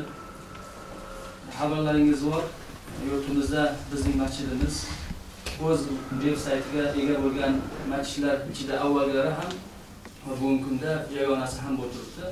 Yana bir katta xursandchilik bo'ldi biz bu kamolon.uz saytiga e, ergashtirgan holda mehrob.uz saytini ham ochdik. Va hozir bu saytlarni saviyasini oshirish uchun mutaxassislarni jalb qilish jarayonida ketyapmiz. Robiul avval oyini boshidan e, siyratga oid testlar tanlovi e'lon qilingan edi. Bu tanlov mm, forum.islom.uz sayti bilan hamkorlikda amalga oshirildi. Kecha juma kuni shu tanlovning g'oliblari aniqlanib, mukofotlar taqdim qilindi. Shuni mamnuniyat bilan aytishim mumkinki, mana shu e, tanlov g'oliblari orasida to'rt kishi tanlangan bo'lsa, avvalgi uchta o'rin opa singillarimiz deganlar. Bu ularning bu ishda nihoyatda bir peshqadam bo'layotganligini ko'rsatib turibdi. Biz o'sha kuni masjidimizni e, kirish peshtoqiga bannerlardan bayram ruhiyatini beruvchi shior so'zlarini, ichkaridagi elektron tablolarga shu shior so'zlarini yozdik. Nimaga? Bu masalada kichkina bir detalni ham qoldirmasligimiz kerakki, odamlar nazdida Mavlid bir bayramga munosib oy ekanligini, mavsum ekanligini va boshqa bizda singib ketgan bayramlardan ko'ra, masalan, yangi yil yoki boshqami, bu haqliroq bayram qilish ekanligini singdirish uchun bo'lyapti. Va musulmonlar idorasi tomonidan har juma kelayotgan testlarning mavzusi ham mana shu siyratga oid mavzular. Bizdan endi talab qilinadigani mehrobdagi holatni har bir masjidni bilamizki o'zini muxlislar bo'ladi. Har bir masjid va har bir imomning muxlislar bo'ladi. Ular ta'sir oladilar, foydalanadilar. O'sha mehrob holatini kelayotgan muxlislarni xonadonlarga ko'chirish masalasini o'rtaga qo'yib mulohaza qilishimiz. Chunki ularning orqasidan oilasida qancha odam, ayollar, farzandlari jomiga kelolmaydilar. Ular o'zlari mumkin yetarli aytib bera. Lekin internet orqali juma mav'izasini o'sha kuni bo'lgan juma mav'izasidan bahramand olish ishini agar yo'lga qo'ya olsa bunda Islom uz portali xodimlarini masalan hamkorlikka chaqirib, ularni bu ishda fidokorlikka chaqirish kerakligini o'rtaga tashlamoqchiman. Juda ham katta foyda bo'ladi inshaalloh. Va shu bilan birgalikda siyratga oid juma mav'izalari yozilgan e, CD diskimiz chiqdi, litsenziyalangan holda. Va hozir payg'ambar xonadoni namuna uyi deb nomlangan e, kitobimiz tahrirlar e, Ozod akaga topshirganmiz bu masalani. Endi bu masjid miqyosida qilinayotgan ishlar siyratga oid. Marosimlarda ham bu oyda asosan siyratga oid mavzular gapirilyapti. Man o'ylaymanki, bu yerda rejalar haqida ham gapirishim kerak ekan. Rejalar mana shu narsani bir shov-shuv, ko'tarinki ruhda olib borishlik ko'lamini kengaytirishimiz kerak. Mana bir yilda biz ikki marta Qur'on musobaqasini yuqori уровеньda ya'ni yuqori bir e, saviyada o'tkazishga harakat qildik, ko'p tajribalar hosil qildik. Men endi inshaalloh reja qilyapman bu yil e, musulmonlar idorasi rahbariyati roziligi bilan reja asosida Mavlid e, oyida xuddi Qur'on musobaqasiga o'xshagan, undan kam bo'lmagan holda bir tadbir o'tkazish. Bu ham inshaalloh foydadan xoli bo'lmaydi. Shuning uchun bir narsani eslatmoqchimanki, juda katta xizmat ketyapti bu xizmat e, ichidagi xodimlar bu joyga jam bo'lgan bu narsada faqat biz fidoyi bo'lishimiz kerak mumkin qiyinchilik bo'lar vaqtimiz yetmas boshqa sabablar bor lekin fidoyilik bilan yondashsak xalqimizni uyg'otib payg'ambar alayhisalotu vassalomni sevgilarini singdirish. Bu sevgi toinki tabiiy sevgi bo'lmasin chunki tabiiy sevgi bo'ladigan bo'lsa inson hamma narsadan o'zini sevgisini ortib qo'yadi. Hazrat umar roziyallohu anhu birinchi bergan javoblari tabiiy sevgilardan kelib chiqib o'zimdan keyin sizni qo'yaman yo rasululloh deganlar. Unda payg'ambarimiz yo'q bo'lmaydi unda.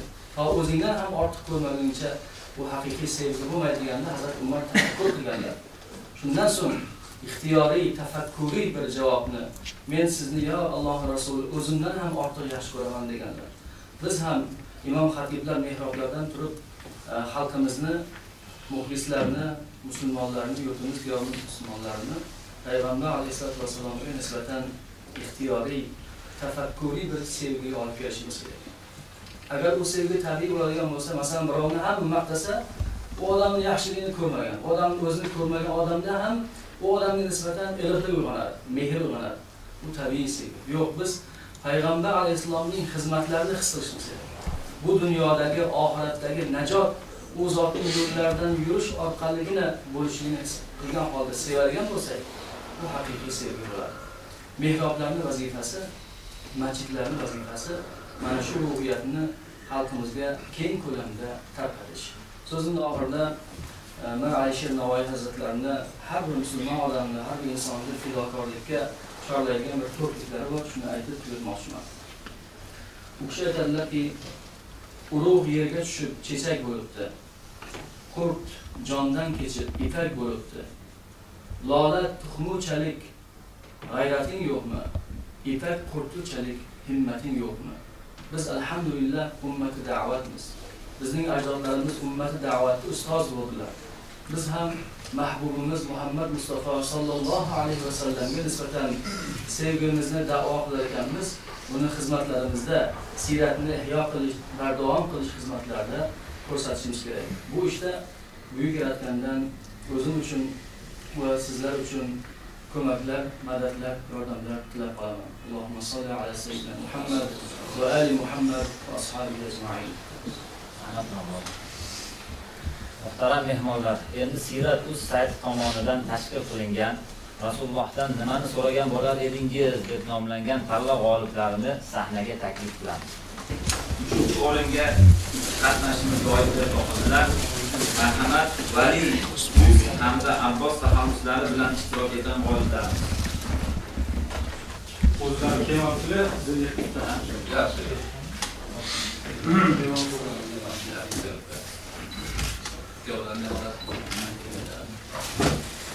ikkinchi o'ringa ibrohim muhammad taxallusi bilan ishtirok etgan qatnashchimiz loyiq deb topildi. Marhamat Tabriklaymiz.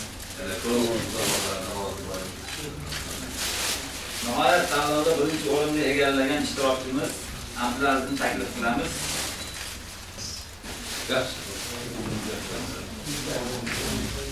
navbatdagi mukofotlar egalariga topshirishda davom etamiz musulmat uz sayti ijodiy guruhining iltimosiga ko'ra sayt faoliyatiga munosib hissa qo'shgan xodimlarimizni ham alohida taqdirlashni niyat qilib qo'yganmiz hozir mukofotlarni ham o'z egalariga topshiramiz mavjud oyga oid ma'lumotlarni tayyorlashda yordam yordami uchun Abdulaziz Abdulaziz Ziyoliddin domla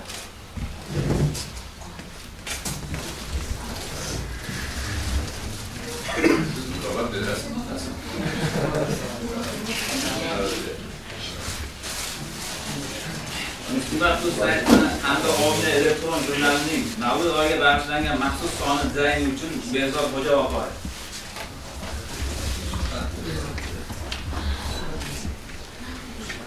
Vaqoyev. Sayt uchun tayyorlangan barcha audio e, va video dasturlar uchun Ya Rasululloh, Musa va boshqa sahiylarning go'zal tasviriy va musiqiy yeraklari uchun Davron Muhammadyor.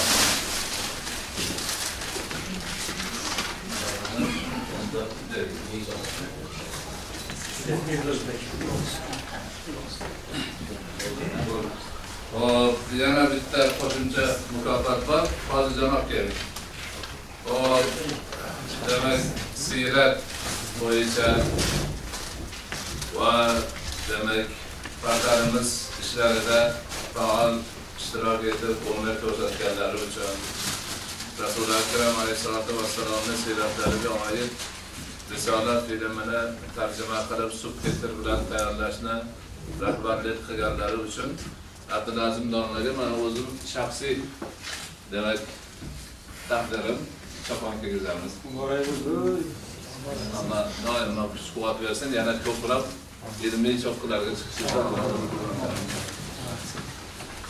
bugungi mavzuimizni markaziy mavzusi bo'lmish muhammad mustafa sallallohu alayhi vasallam bo'lganliklaridan foydalanib ular alayhissalomga atab hasanxon yahyo hamda husaynxon yahyo qorilar na'at tayyorlab ketdilar ulardan tinglaymiz rohim Men hozir e, o'tgan asrda Misrda yashab istiqomat qilib vafot etgan Maliki shuoro shoirlarni podshohi laqabini olgan Ahmad Shafii rahmatullohi alayhini Rasululloh alayhissalotu vassalomni naqdlarda yozgan madhlaridan, naqdlardan qisqa iqtibos aytmoqchiman.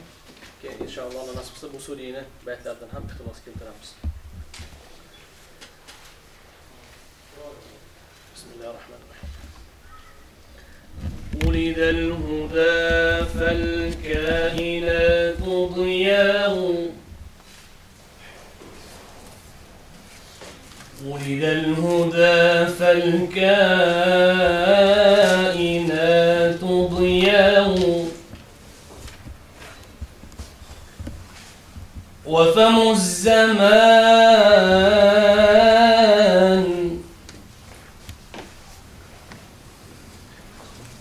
وفم الزمان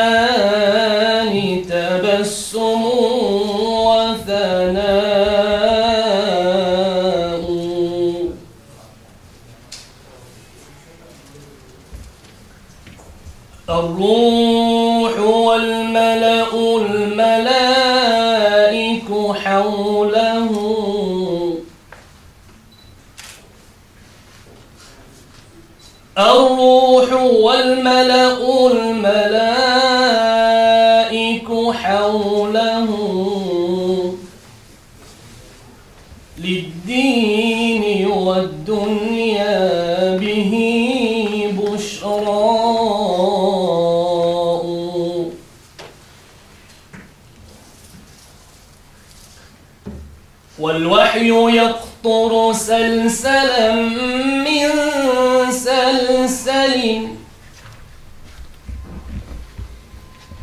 واللوح والقلم البديع رواء.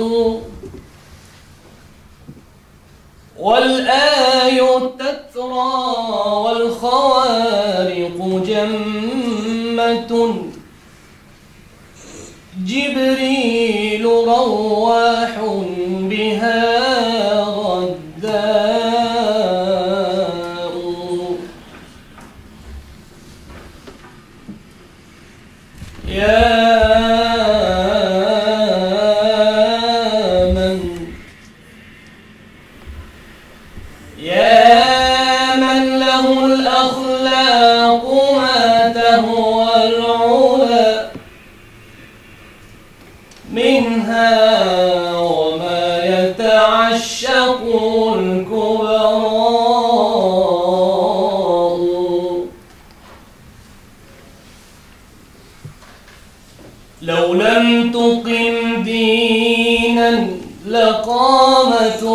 وحدها دينا لو لم تقم دينا لقامت وحدها دينا.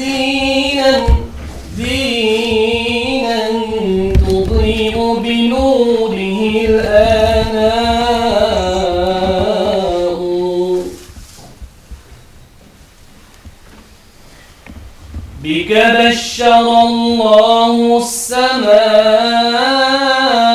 فزينت وتطوعت مسكا بك الغبراء.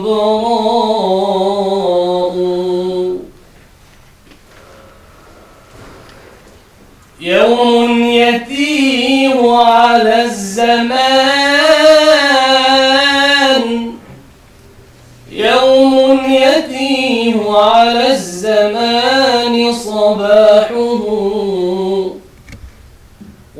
ومساؤه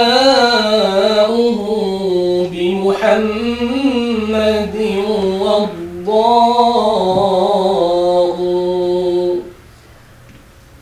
ومساؤه بمحمد والضاء.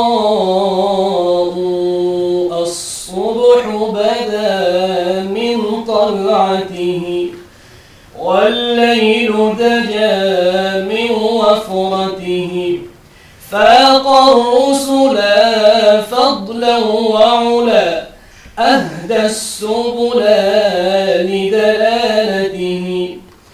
كنز الكرم مولى النعم هادي الأمم هادي الأمم لشريعته. أزكى النسب أعلى الحسب كل العرب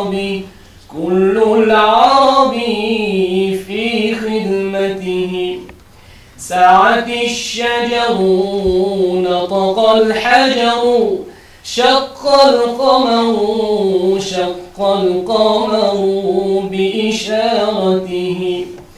جبريل أتى ليلة أسرى والرب دعاه لحضرته.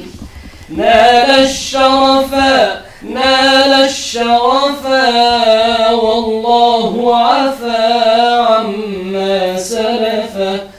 عما سلف من أمته فمحمدنا هو سيدنا فالعز لنا لإجابته.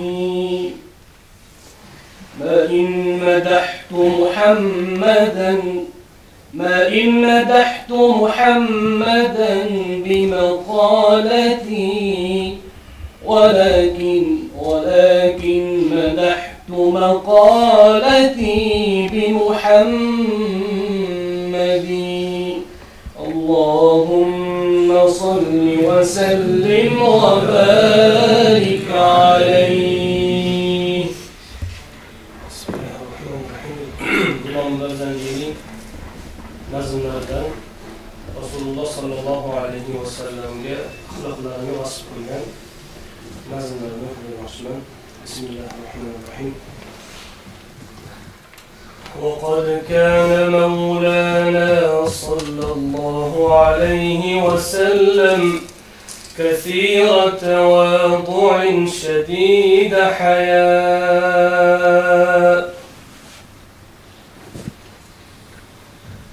وقد كان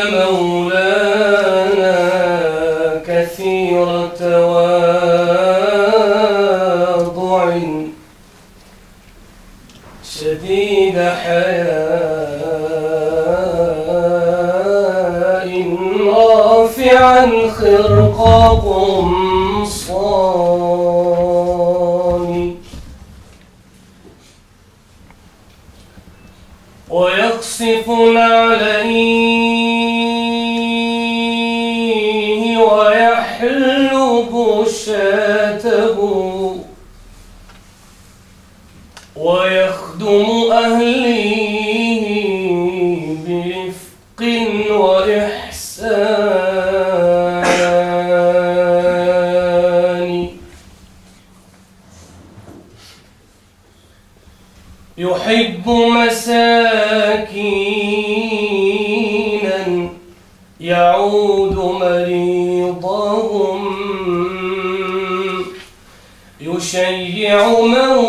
موتاهم يواري بأكفان.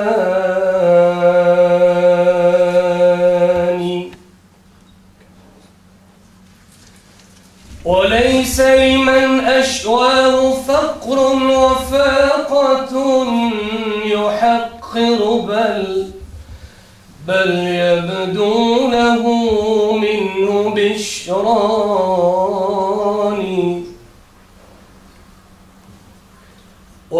يقبل ذا عذر يماشي أراملا يواسيهم برا يماشي لعبدان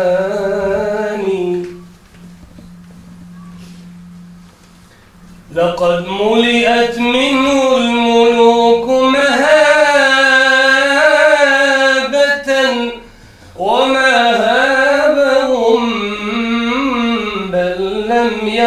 بأس سلطان ويغضب لله الكريم ويرتضي.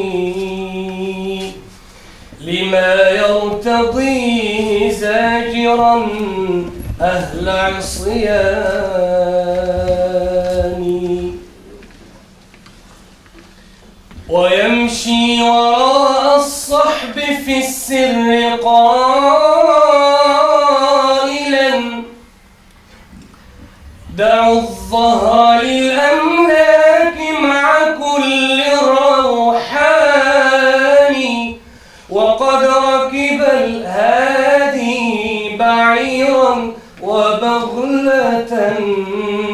كذا فرسا إذ كان سيد فرسان.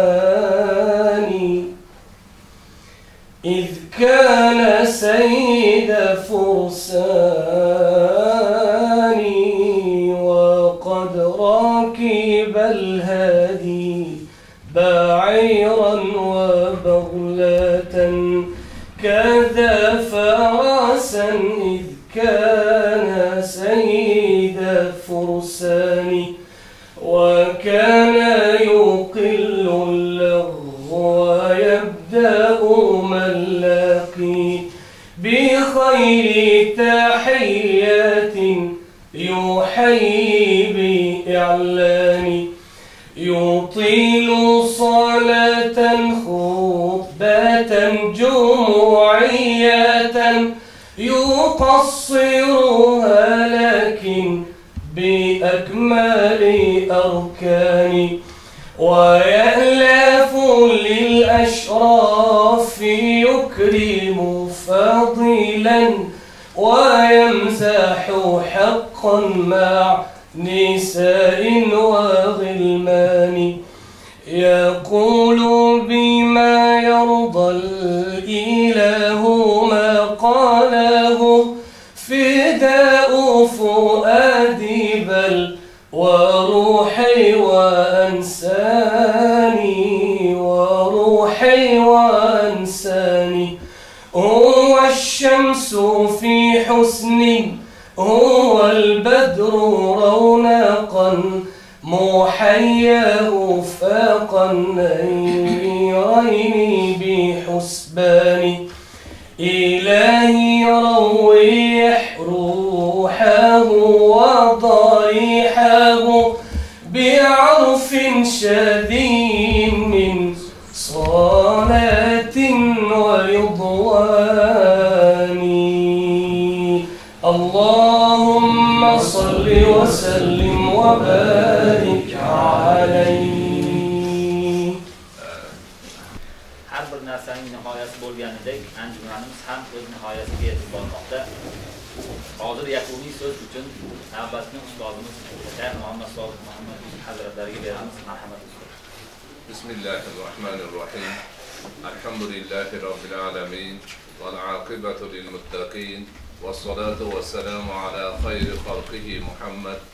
وعلى آله وأصحابه أجمعين allohga shukurlar bo'lsin mana yaxshi niyat bilan boshlagan majlisimiz mavludimiz habibimiz muhammad mustafa sallallohu alayhiga bag'ishlangan ilmiy anjumanimiz oxiriga so'ngiga yetdi lekin bu narsa ko'plab ishlarni bidoyasi boshlanishi bo'ladi bu yerdagi notiqlarni nutqlarning ma'nosida barchasi aytilgan gaplar reja kelajakka tuzilgan demak e, ish rejasi hisobida qabul qilindi. Hamma saytlarimiz shu ma'noda inshaalloh ish olib boradilar. Notiqlarimizni so'zlarini hayotga tatbiq qilishda rasuli akram alayhissalotu vassalomning sifatlari siyratlari sunnatlarini mo'min musulmon azizlarga taratishda ezgulik yo'lida xayr baraka yo'lida xizmatni debojasi bo'ladi degan umidimiz bor. Hamma so'z so'zlagan azizlarga bu yerda e, tanlov tashkil qilganlar uni o'tkazganlar va tanlov g'oliblariga hamma hammalariga chin qalbdan tashakkur izhor qilamiz. Ushbu majlisni tashkil qilishga uni shu shaklga keltirishga uyushtirishga va boshqa barcha ishlarga hissa qo'shgan azizlarimizga ham chin qalbdan e, tashakkurlar izhor qilamiz. Bu azizlarimizni alloh taolo ajrlarini savoblarini ko'paytirib bersin. Payg'ambarimiz alayhissalotu vassalomning suyuklik ummatlaridan bo'lib u kishining basho- shafoatlariga sazovor bo'ladigan zotlardan bo'lishlarini nasib etsin. Albatta bu ishlarni e, xayr ma'nosida ajr savob umidida qilingan alloh taolo ko'zlangan xayrdan umid qilingan ajr savoblardan bir qancha chandon ko'pini alloh taolo bu azizlarimizga ato qilgan bo'lsin.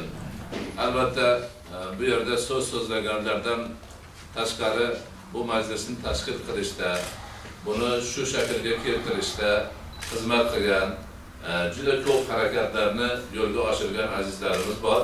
Bularni hammasiga kattayu kichik bari barcha barchalariga yana bir bor tashakkur izhor qilamiz. Albatta bu ilmiy anjuman ilm ma'rifat yo'lida bosilgan kichik bir qadam. Alloh bu qadamni barakotli qilsin foydali qilsin. Bundan keyin ham mana shunga o'xshagan yaxshi ishlarini qilib borishda alloh subhanahu va taolo o'zi hammamizga madadkor bo'lsin. Yaxshi niyat bilan bir duo qilaylik. Bismillahi rohmanir rohim alhamdulillah. Vassalatu vassalamu ala rasulillah. Alloh o'zing yaxshi niyati bilan qilingan ushbu ishni amali solihni dargohingda qabul aylagin. Ajr savoblarini ko'paytirib bergin. Bu yerda aytilgan gaplarni hammamizga manfaatli bo'lishini nasib etgin. Qilayotgan rejalarimiz orzu umidlarimizni amalga oshishida o'zing parvardigora madadkor bo'lgin. Bu arjumanga bosib kelingan qadamlarni har birlariga bitmas tuganmas ajr savoblarni ato qilgin. Bu yerda so'z so'zlagan so'zlovchilarimizni so'zlarini manfaatli qilgin o'zlarini baxtiyor qilgin doimo shunga o'xshagan go'zal ma'lumotlar bilan ilm bilan xalqimizni manfaatlatib borishlarida o'zing yordamchi bo'lgin bu anjumanni tashkil qilishda ishtirok etgan kishilarni har birlarini parvardigora qilgan ishlariga ajr savoblarni ko'paytirib bergin doimo shunga o'xshash yaxshi ajrli savobli din uchun foydali ishlarni qilib borishlarida o'zing yordamchi bo'lgin hammalarimizni oila a'zolarimiz qavm qarindosh yor do'st birodarlar bilan sog' salomat tinchomon qilgin payg'ambarimiz alayhissalotu vassalamning mavlid oylarini biz uchun barakotli qilgin hayrotli qilgin bu oilani u zotni sifatlari siyratlari sunnatlarini yana ham ko'proq o'rganib hayotimizga tatbiq qilib u kishiga salovatlar aytib u kishini haqlariga duo qilib parvardigora bu dunyodagi hidoyatchimiz bo'lganlaridek oxiratda shifoatchi bo'lishimizni o'zing nasib etgin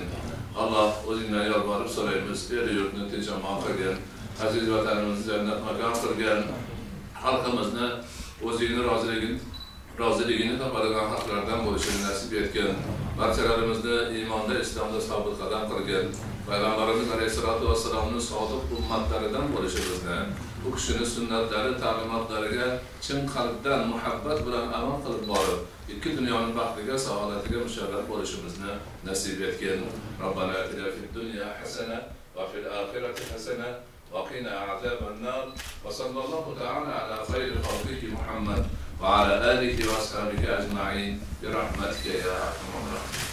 شكرا أما